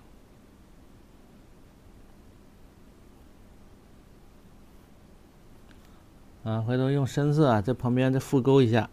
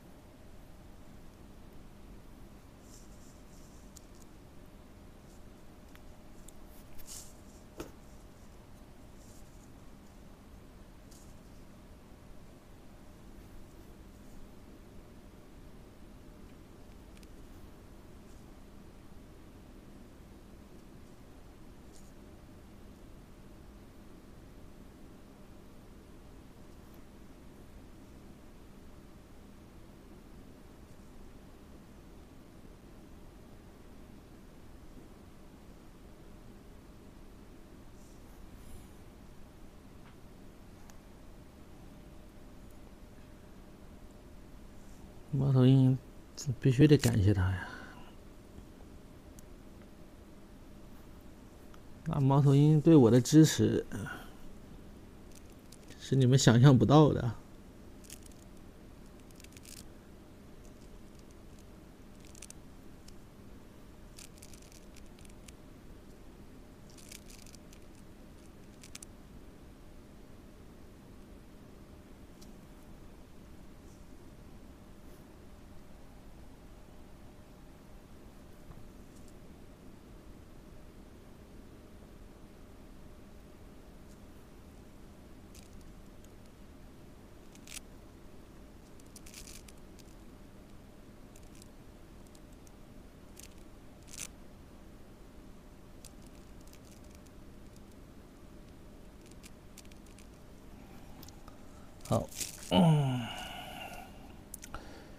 这幅作品需要什么？需要最后的这个地面也非常的关键，否则这个白菜啊，你就感觉很平淡无奇。地面的衬托非常的重要，至关重要。这个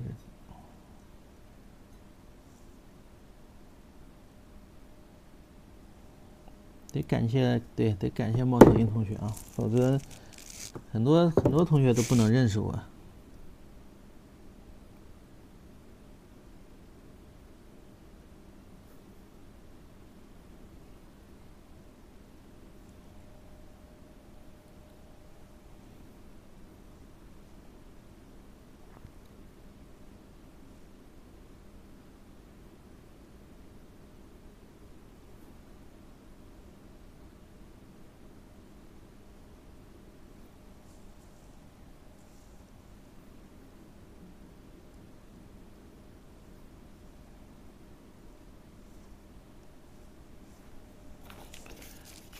蘸一下，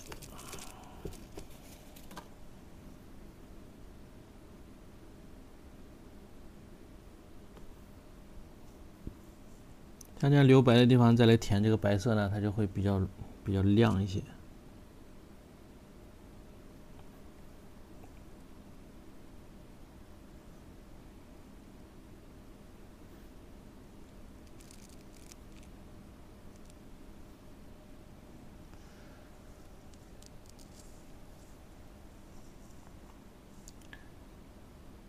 下节课画小写意啊，下节课画小写意。哎，感谢俏妮，感谢猫头鹰，感谢所有的同学啊。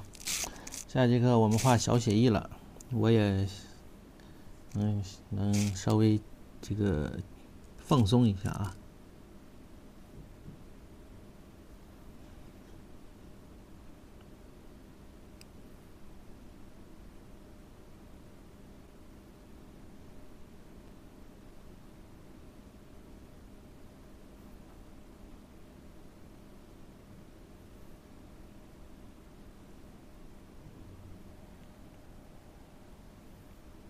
以后这个墨谷啊，咱们一周啊就画一次啊，争取，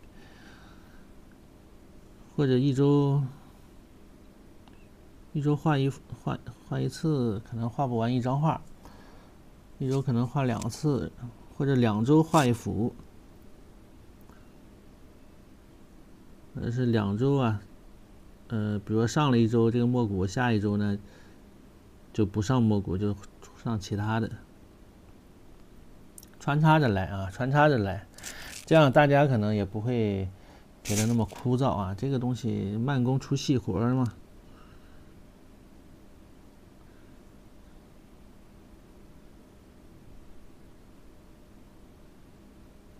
你如果画进去了，你就不会觉得枯燥啊。如果没画进去，会觉得很枯燥啊，很无聊。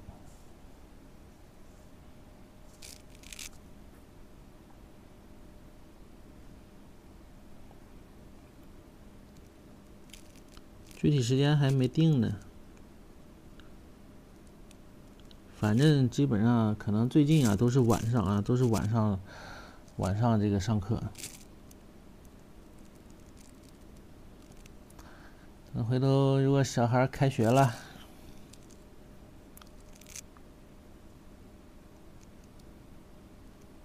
可能就白天也行。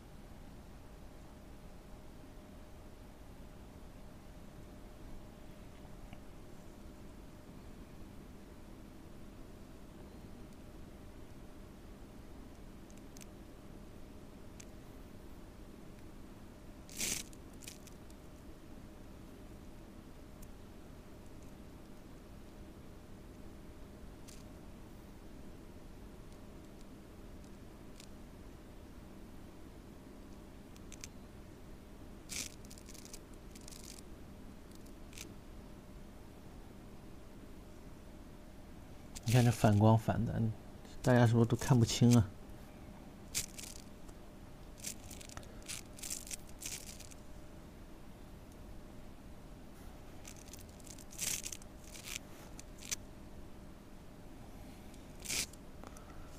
好，再往上画一画，把上面这一块画了啊。画完，把底色啊，把这个石头一铺，完小花一点。下节课把这个蝴蝶小花给画一画。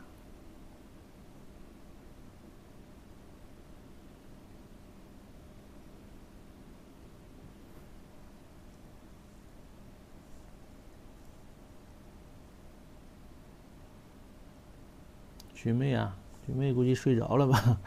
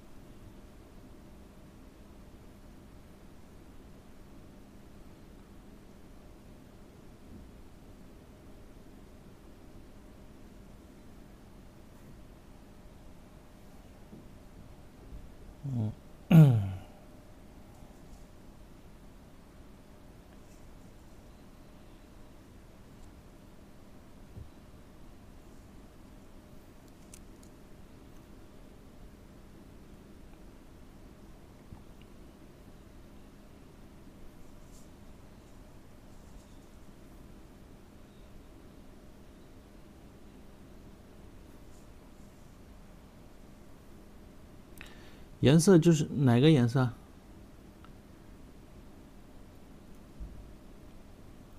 哪个颜色？嗯，叶子的颜色吗？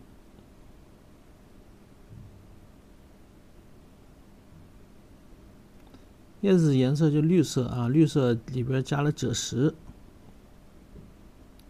有的地方会撞撞入一些白啊和这个分三绿。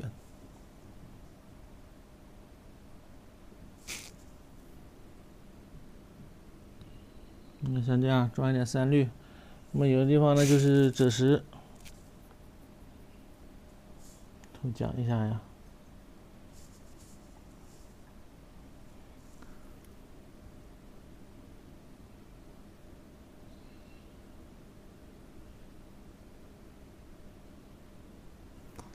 啊，有的地方就三绿啊，有的地方呢就是画一些这个赭石啊，装一些赭石，这个不能再往上画了，往上画我的小蝴蝶儿画不。画不下去了，整体这个白菜画大了啊，整体呢这颗白菜给整大了，所以啊这就是没有底稿的话呢，画起来有可能会出现这样的问题，对吧？嗯，大一点的发大财，画的大发大财啊，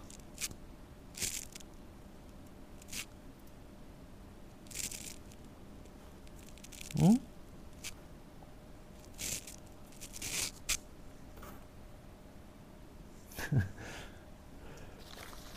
只能这样安慰自己了嘛？都已经画大了，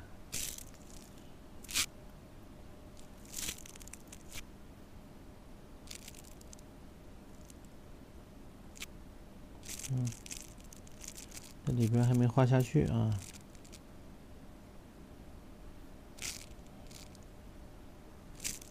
应该是画到这儿来啊，这个在中间。不好改了，今天就是让这个让这个楼上漏水给我影响心情了。上课之前，上课前半小时发生的事情，正准备吃点饭呢，怎么听到厨房滴答滴答漏水？哎，饭也没吃。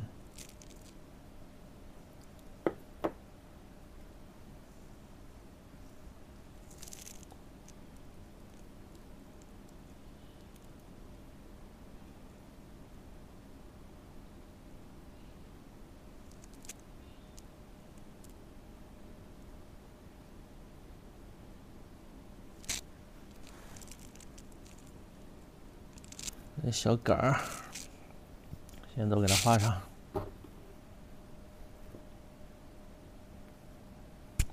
还想画凤凰呀？可以呀，回头把那个华严的凤凰。哎，你们不能看回放吗？为什么还要？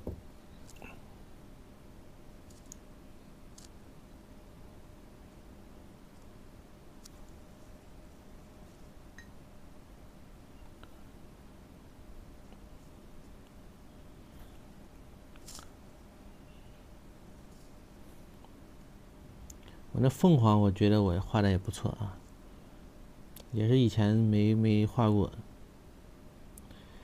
也不能说我画的不错，只能说华严画的好。所以我在一临摹呀，我感觉也挺好。那凤凰，一个是凤凰，一个是老虎，一个是那个孔雀。我有一次给那个你们七合一的同学上过一节孔雀课。对吧？哎，谢谢怡怡啊。嗯，然后上上了那个课，我这几样东西啊，在在公在之前在公司里边啊，那都已经是出了名了，很多一些同事哎，一些领导啊，都找我要这几样东西啊，让我给画的。然后回家前，什么孔雀让人拿走了，老虎让人拿走了，凤凰让人拿走了，这几样是最抢手的，都送人了。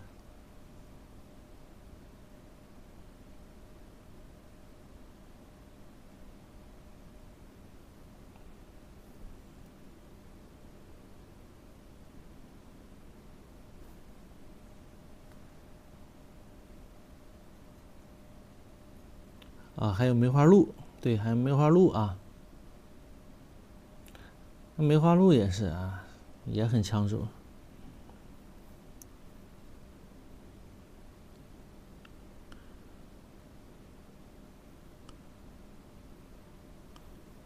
之前贴贴公司墙上啊，全让人给摘走了，一顿哄抢。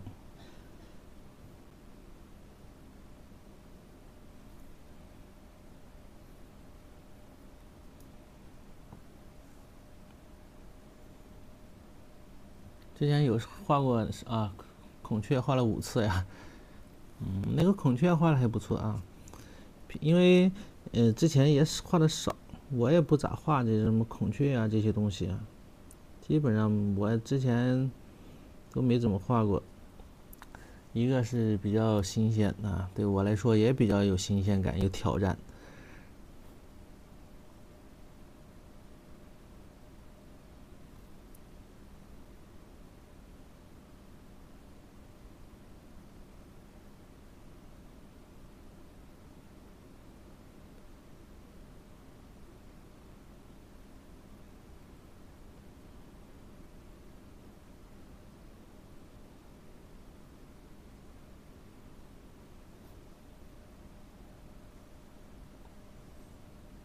灯光打的太亮了啊！灯光打的亮了，这个感觉这个白菜发白，不是颜色不太准。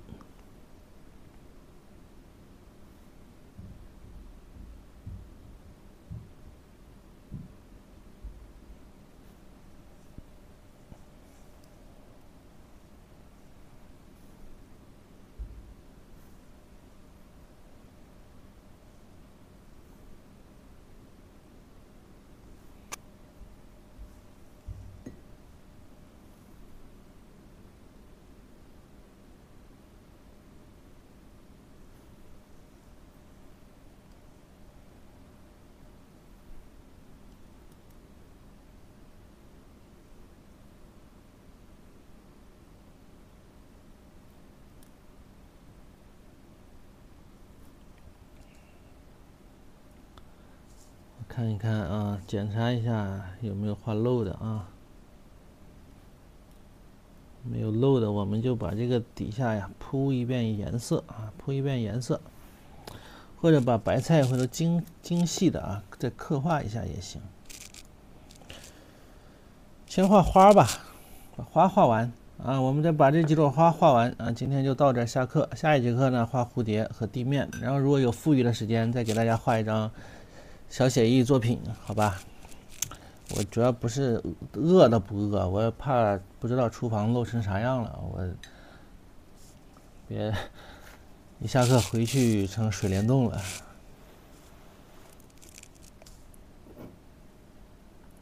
还是得还是得管呐。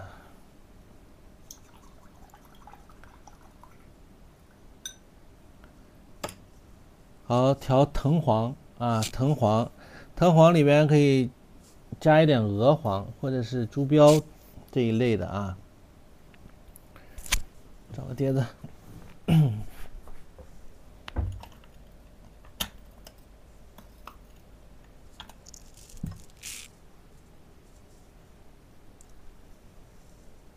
小碟子呢？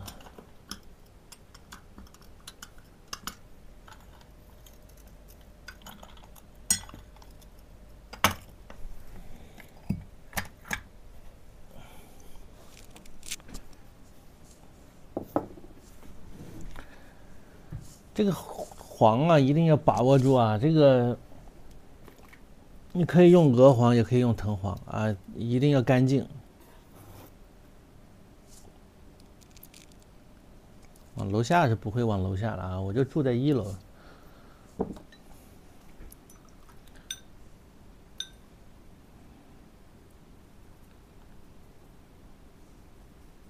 所以敢这么淡定的来上课呀。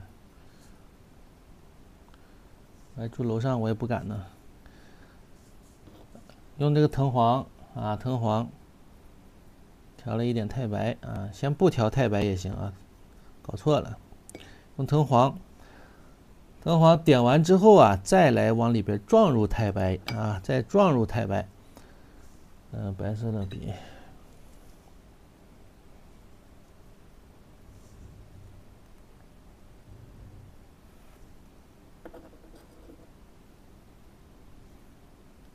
没事儿，没事儿啊，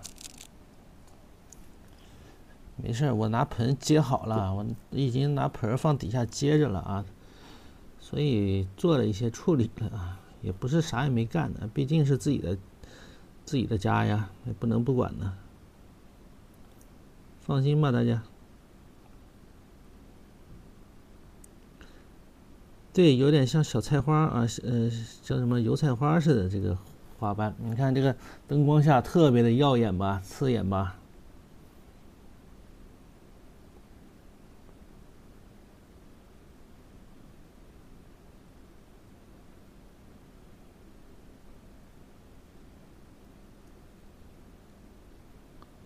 黄色用好了，非常的高级，很富贵，金碧辉煌的感觉有啊。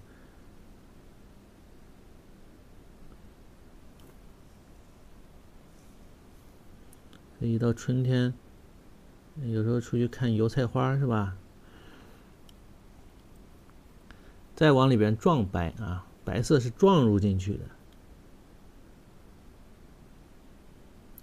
如果你想啊，这个边缘再清晰一些怎么办呢？你可以用那个朱标啊，调一点朱标，呃，调一点这个红色，你看，调一点点笔尖啊，调一点红色，调一丢丢。哎，一个橘色，对吧？哎，有的花瓣呢，你也可以偏橘一些，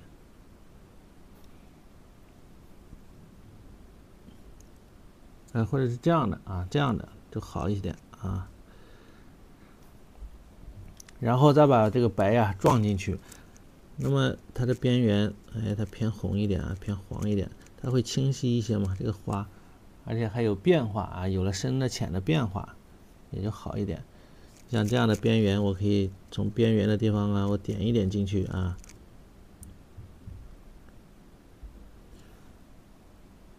它就有了一点点体积感啊，有一些体积感了。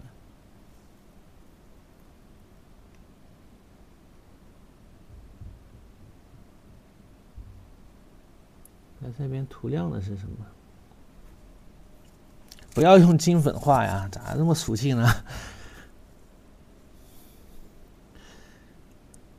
可以用一点点，你可以把金粉嗯调一点点到这个里边啊，不要全部用金粉画，那就不好看。哎，让它有一点点，然后有时候在光线下面呢，会有一些闪闪发光，也是可以的啊。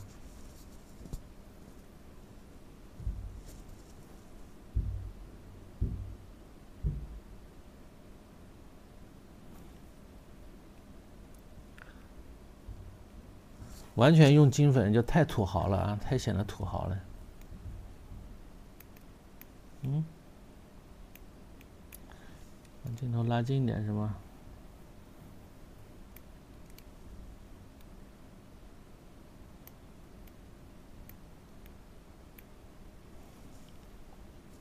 这是小花，小黄花，哎，四瓣。四瓣一片，一朵，四瓣一朵，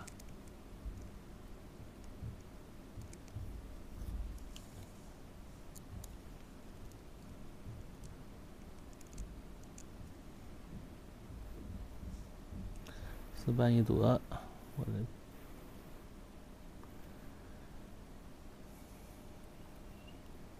它是那个什么，它不是。搞不知道是是因为什么原因，现在我也不知道是因为啥漏。但是那个厨房油烟机上面的烟道那一块好像是出了什么问题，那块漏水往下漏。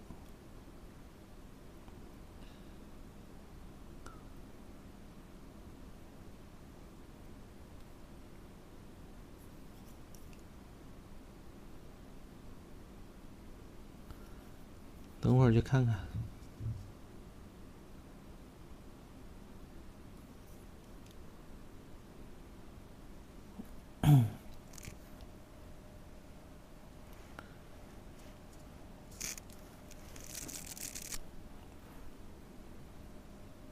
不知道，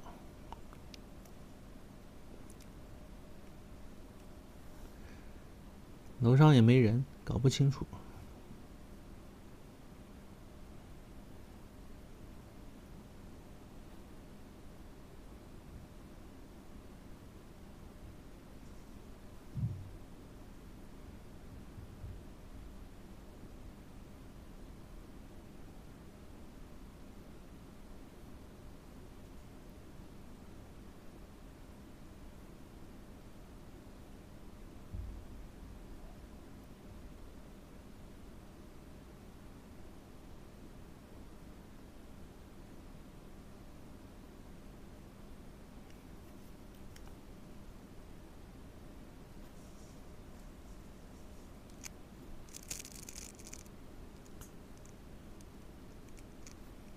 好，我们把有花的地方先都整体啊，给它点出来，整体点出来啊。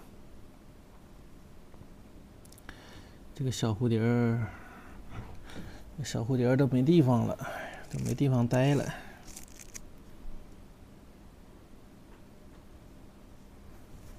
这边挪挪。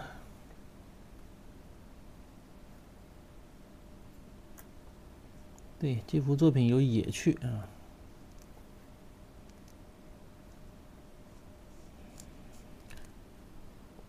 所以说，这个居廉居巢啊，他们的这个作品啊，就有一点像那个之前我们学的啊，讲的华严的那个感觉，对吧？田间地头这种小景，哎呀，特别有情调。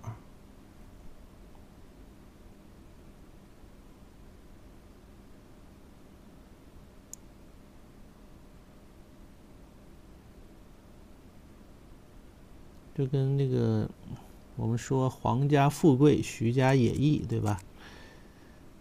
有这种野逸之风，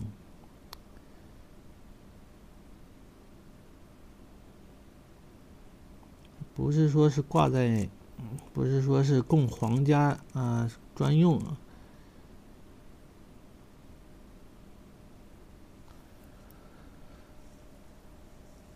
有人间烟火气息，对吧？它没有那种庙堂的那种感觉。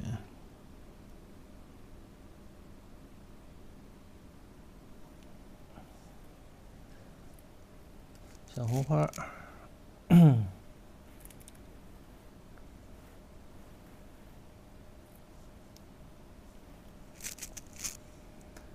旁边还有一小枝啊，旁边还有一小枝，这小枝呢有给画啊，还有几片叶子没画。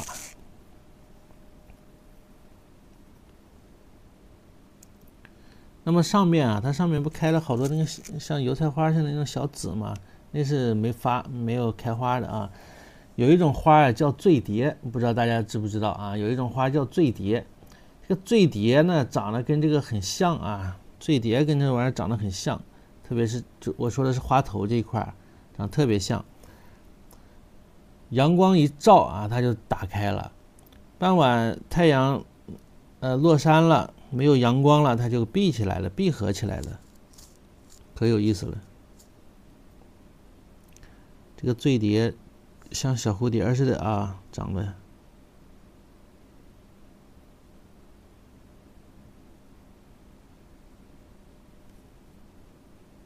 知道啊啊！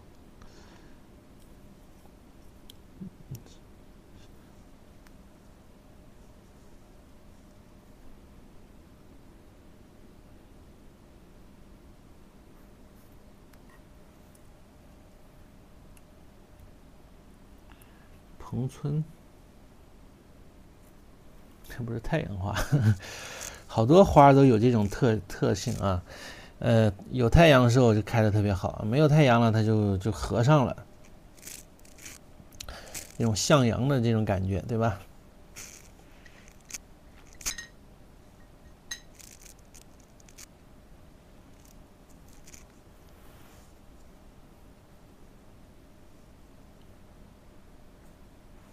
看哪儿看不到了？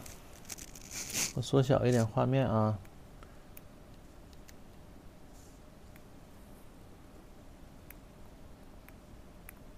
我画出镜了，刚刚这个这里点了几朵啊，没注意看。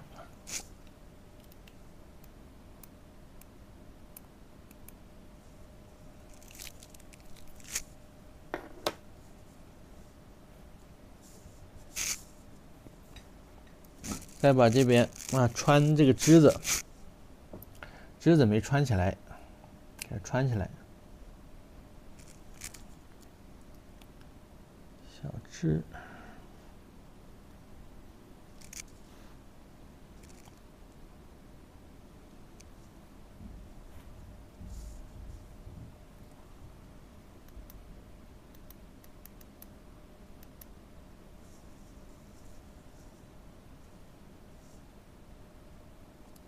小枝子啊，可以用偏绿一点的颜色啊，偏绿一点的，哎，偏绿一些。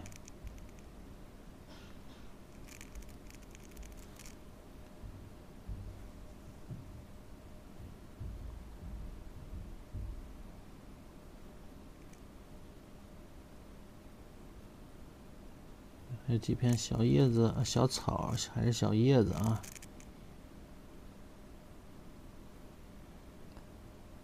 你看他画的这个草也特别有意思啊。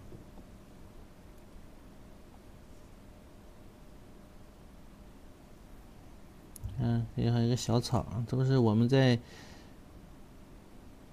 平时都能看见的啊，平时生活当中都有的东西。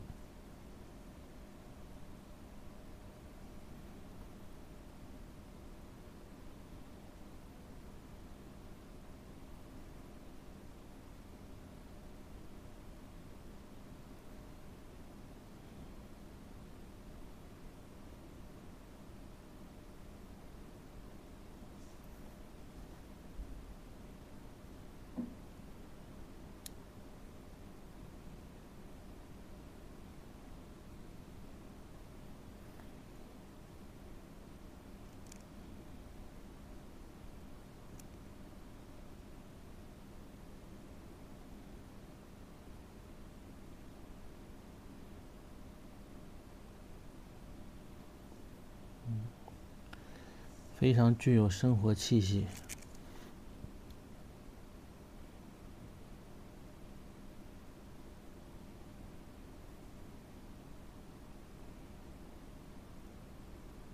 像这样的，你就颜色浅一些，浅一点啊，虚一点。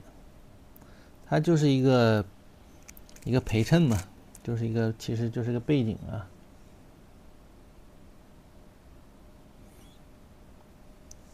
这么快就炸毛了，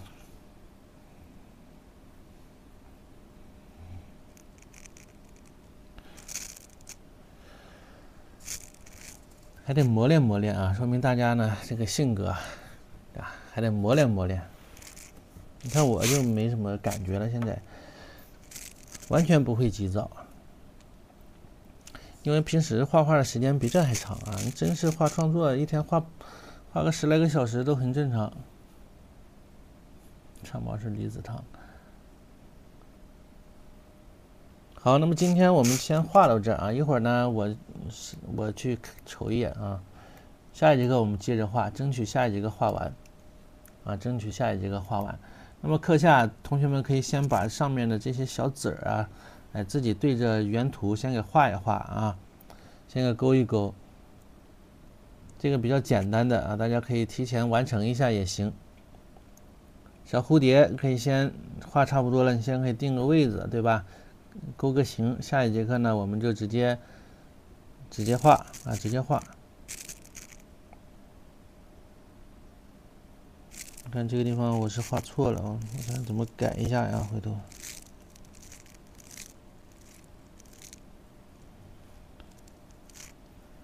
嗯，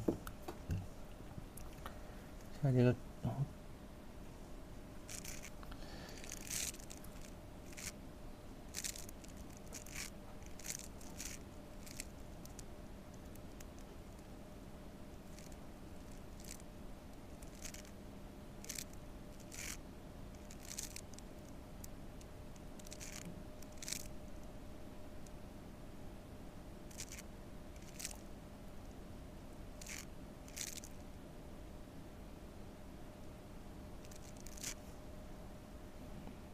这边是三颗啊，三颗，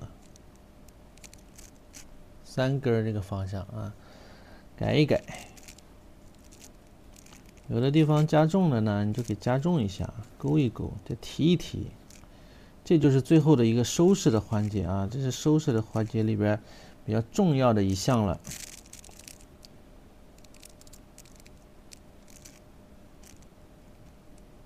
啊，钉头梳尾。走，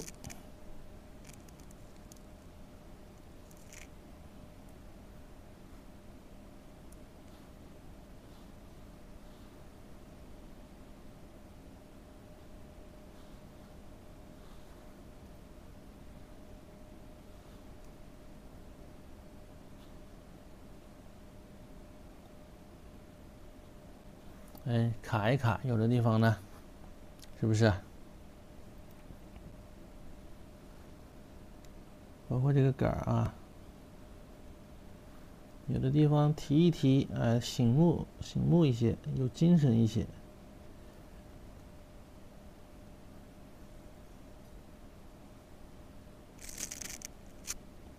这边也是，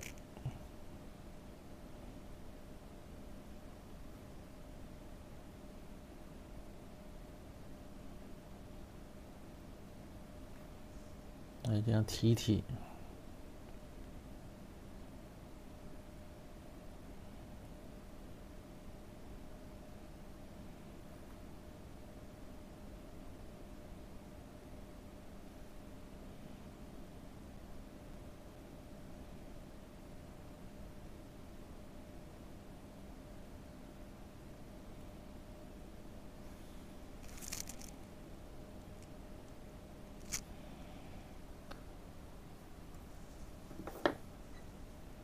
这颗，哎呀，这个地方是白的啊，刚刚画错了，给它补上。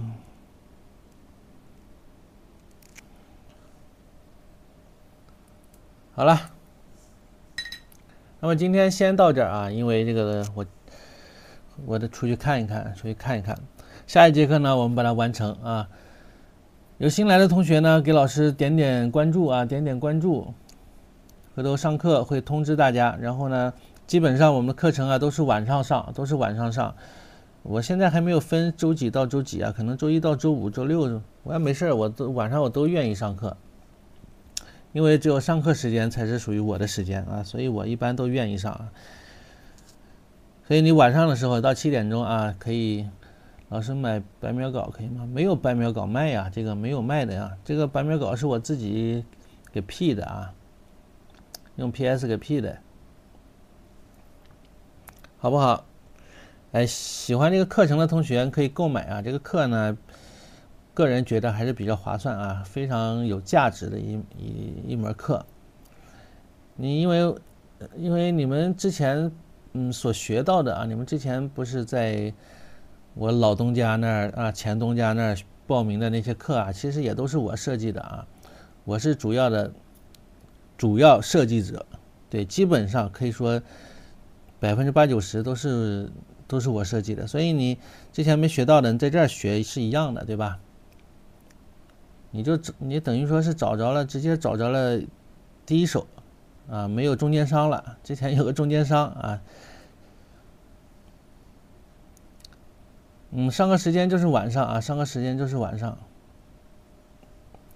对，你们之前学的什么小写意、大写意、泼彩、泼墨啊、工笔、墨骨，包括后面的彩墨、青绿啊，这些课程，基本上这整个一套，不是说基本上，就全部都是都是我主导设计的嘛。每一节课，无论山水、花鸟还是人物啊，都是我设计的。包括你们后续的那些课程还没有上完的。所以呢，你如果想继续学，不用纠结以前的课没学完呀，怎么怎么着啊？没关系，在这学了都是一样的啊。我都会把这些知识点呢，这些知识的地方啊，会告诉大家。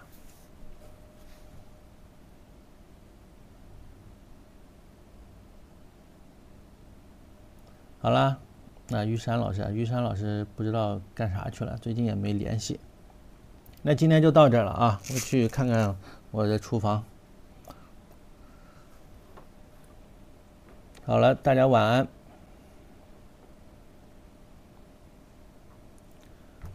在哪看回放啊？你看主页啊，进我的主页看回放啊。进呃不是进我的主页买了课程之后才能看回放，如果没有买课程是看不了的啊。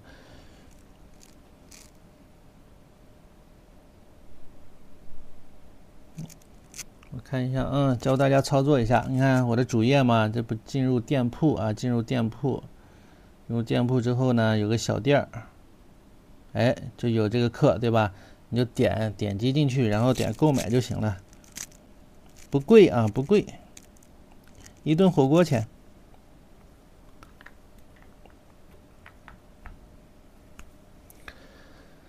好，那今天咱们就到此结束啊！明天继续啊！明天晚上我们继续画。哎，明天好像是，明天好像是特殊的日子，明天不知道能不能播啊？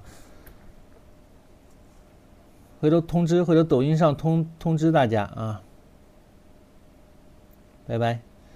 以为买这幅画不是买这幅画啊，是买这个课程，一百二十节课，一百二十节课，你算算有多少多少张画吧。好了，再见。一百二十节，一百二十节，今天这样的算一节。拜拜，拜拜，不能再聊了。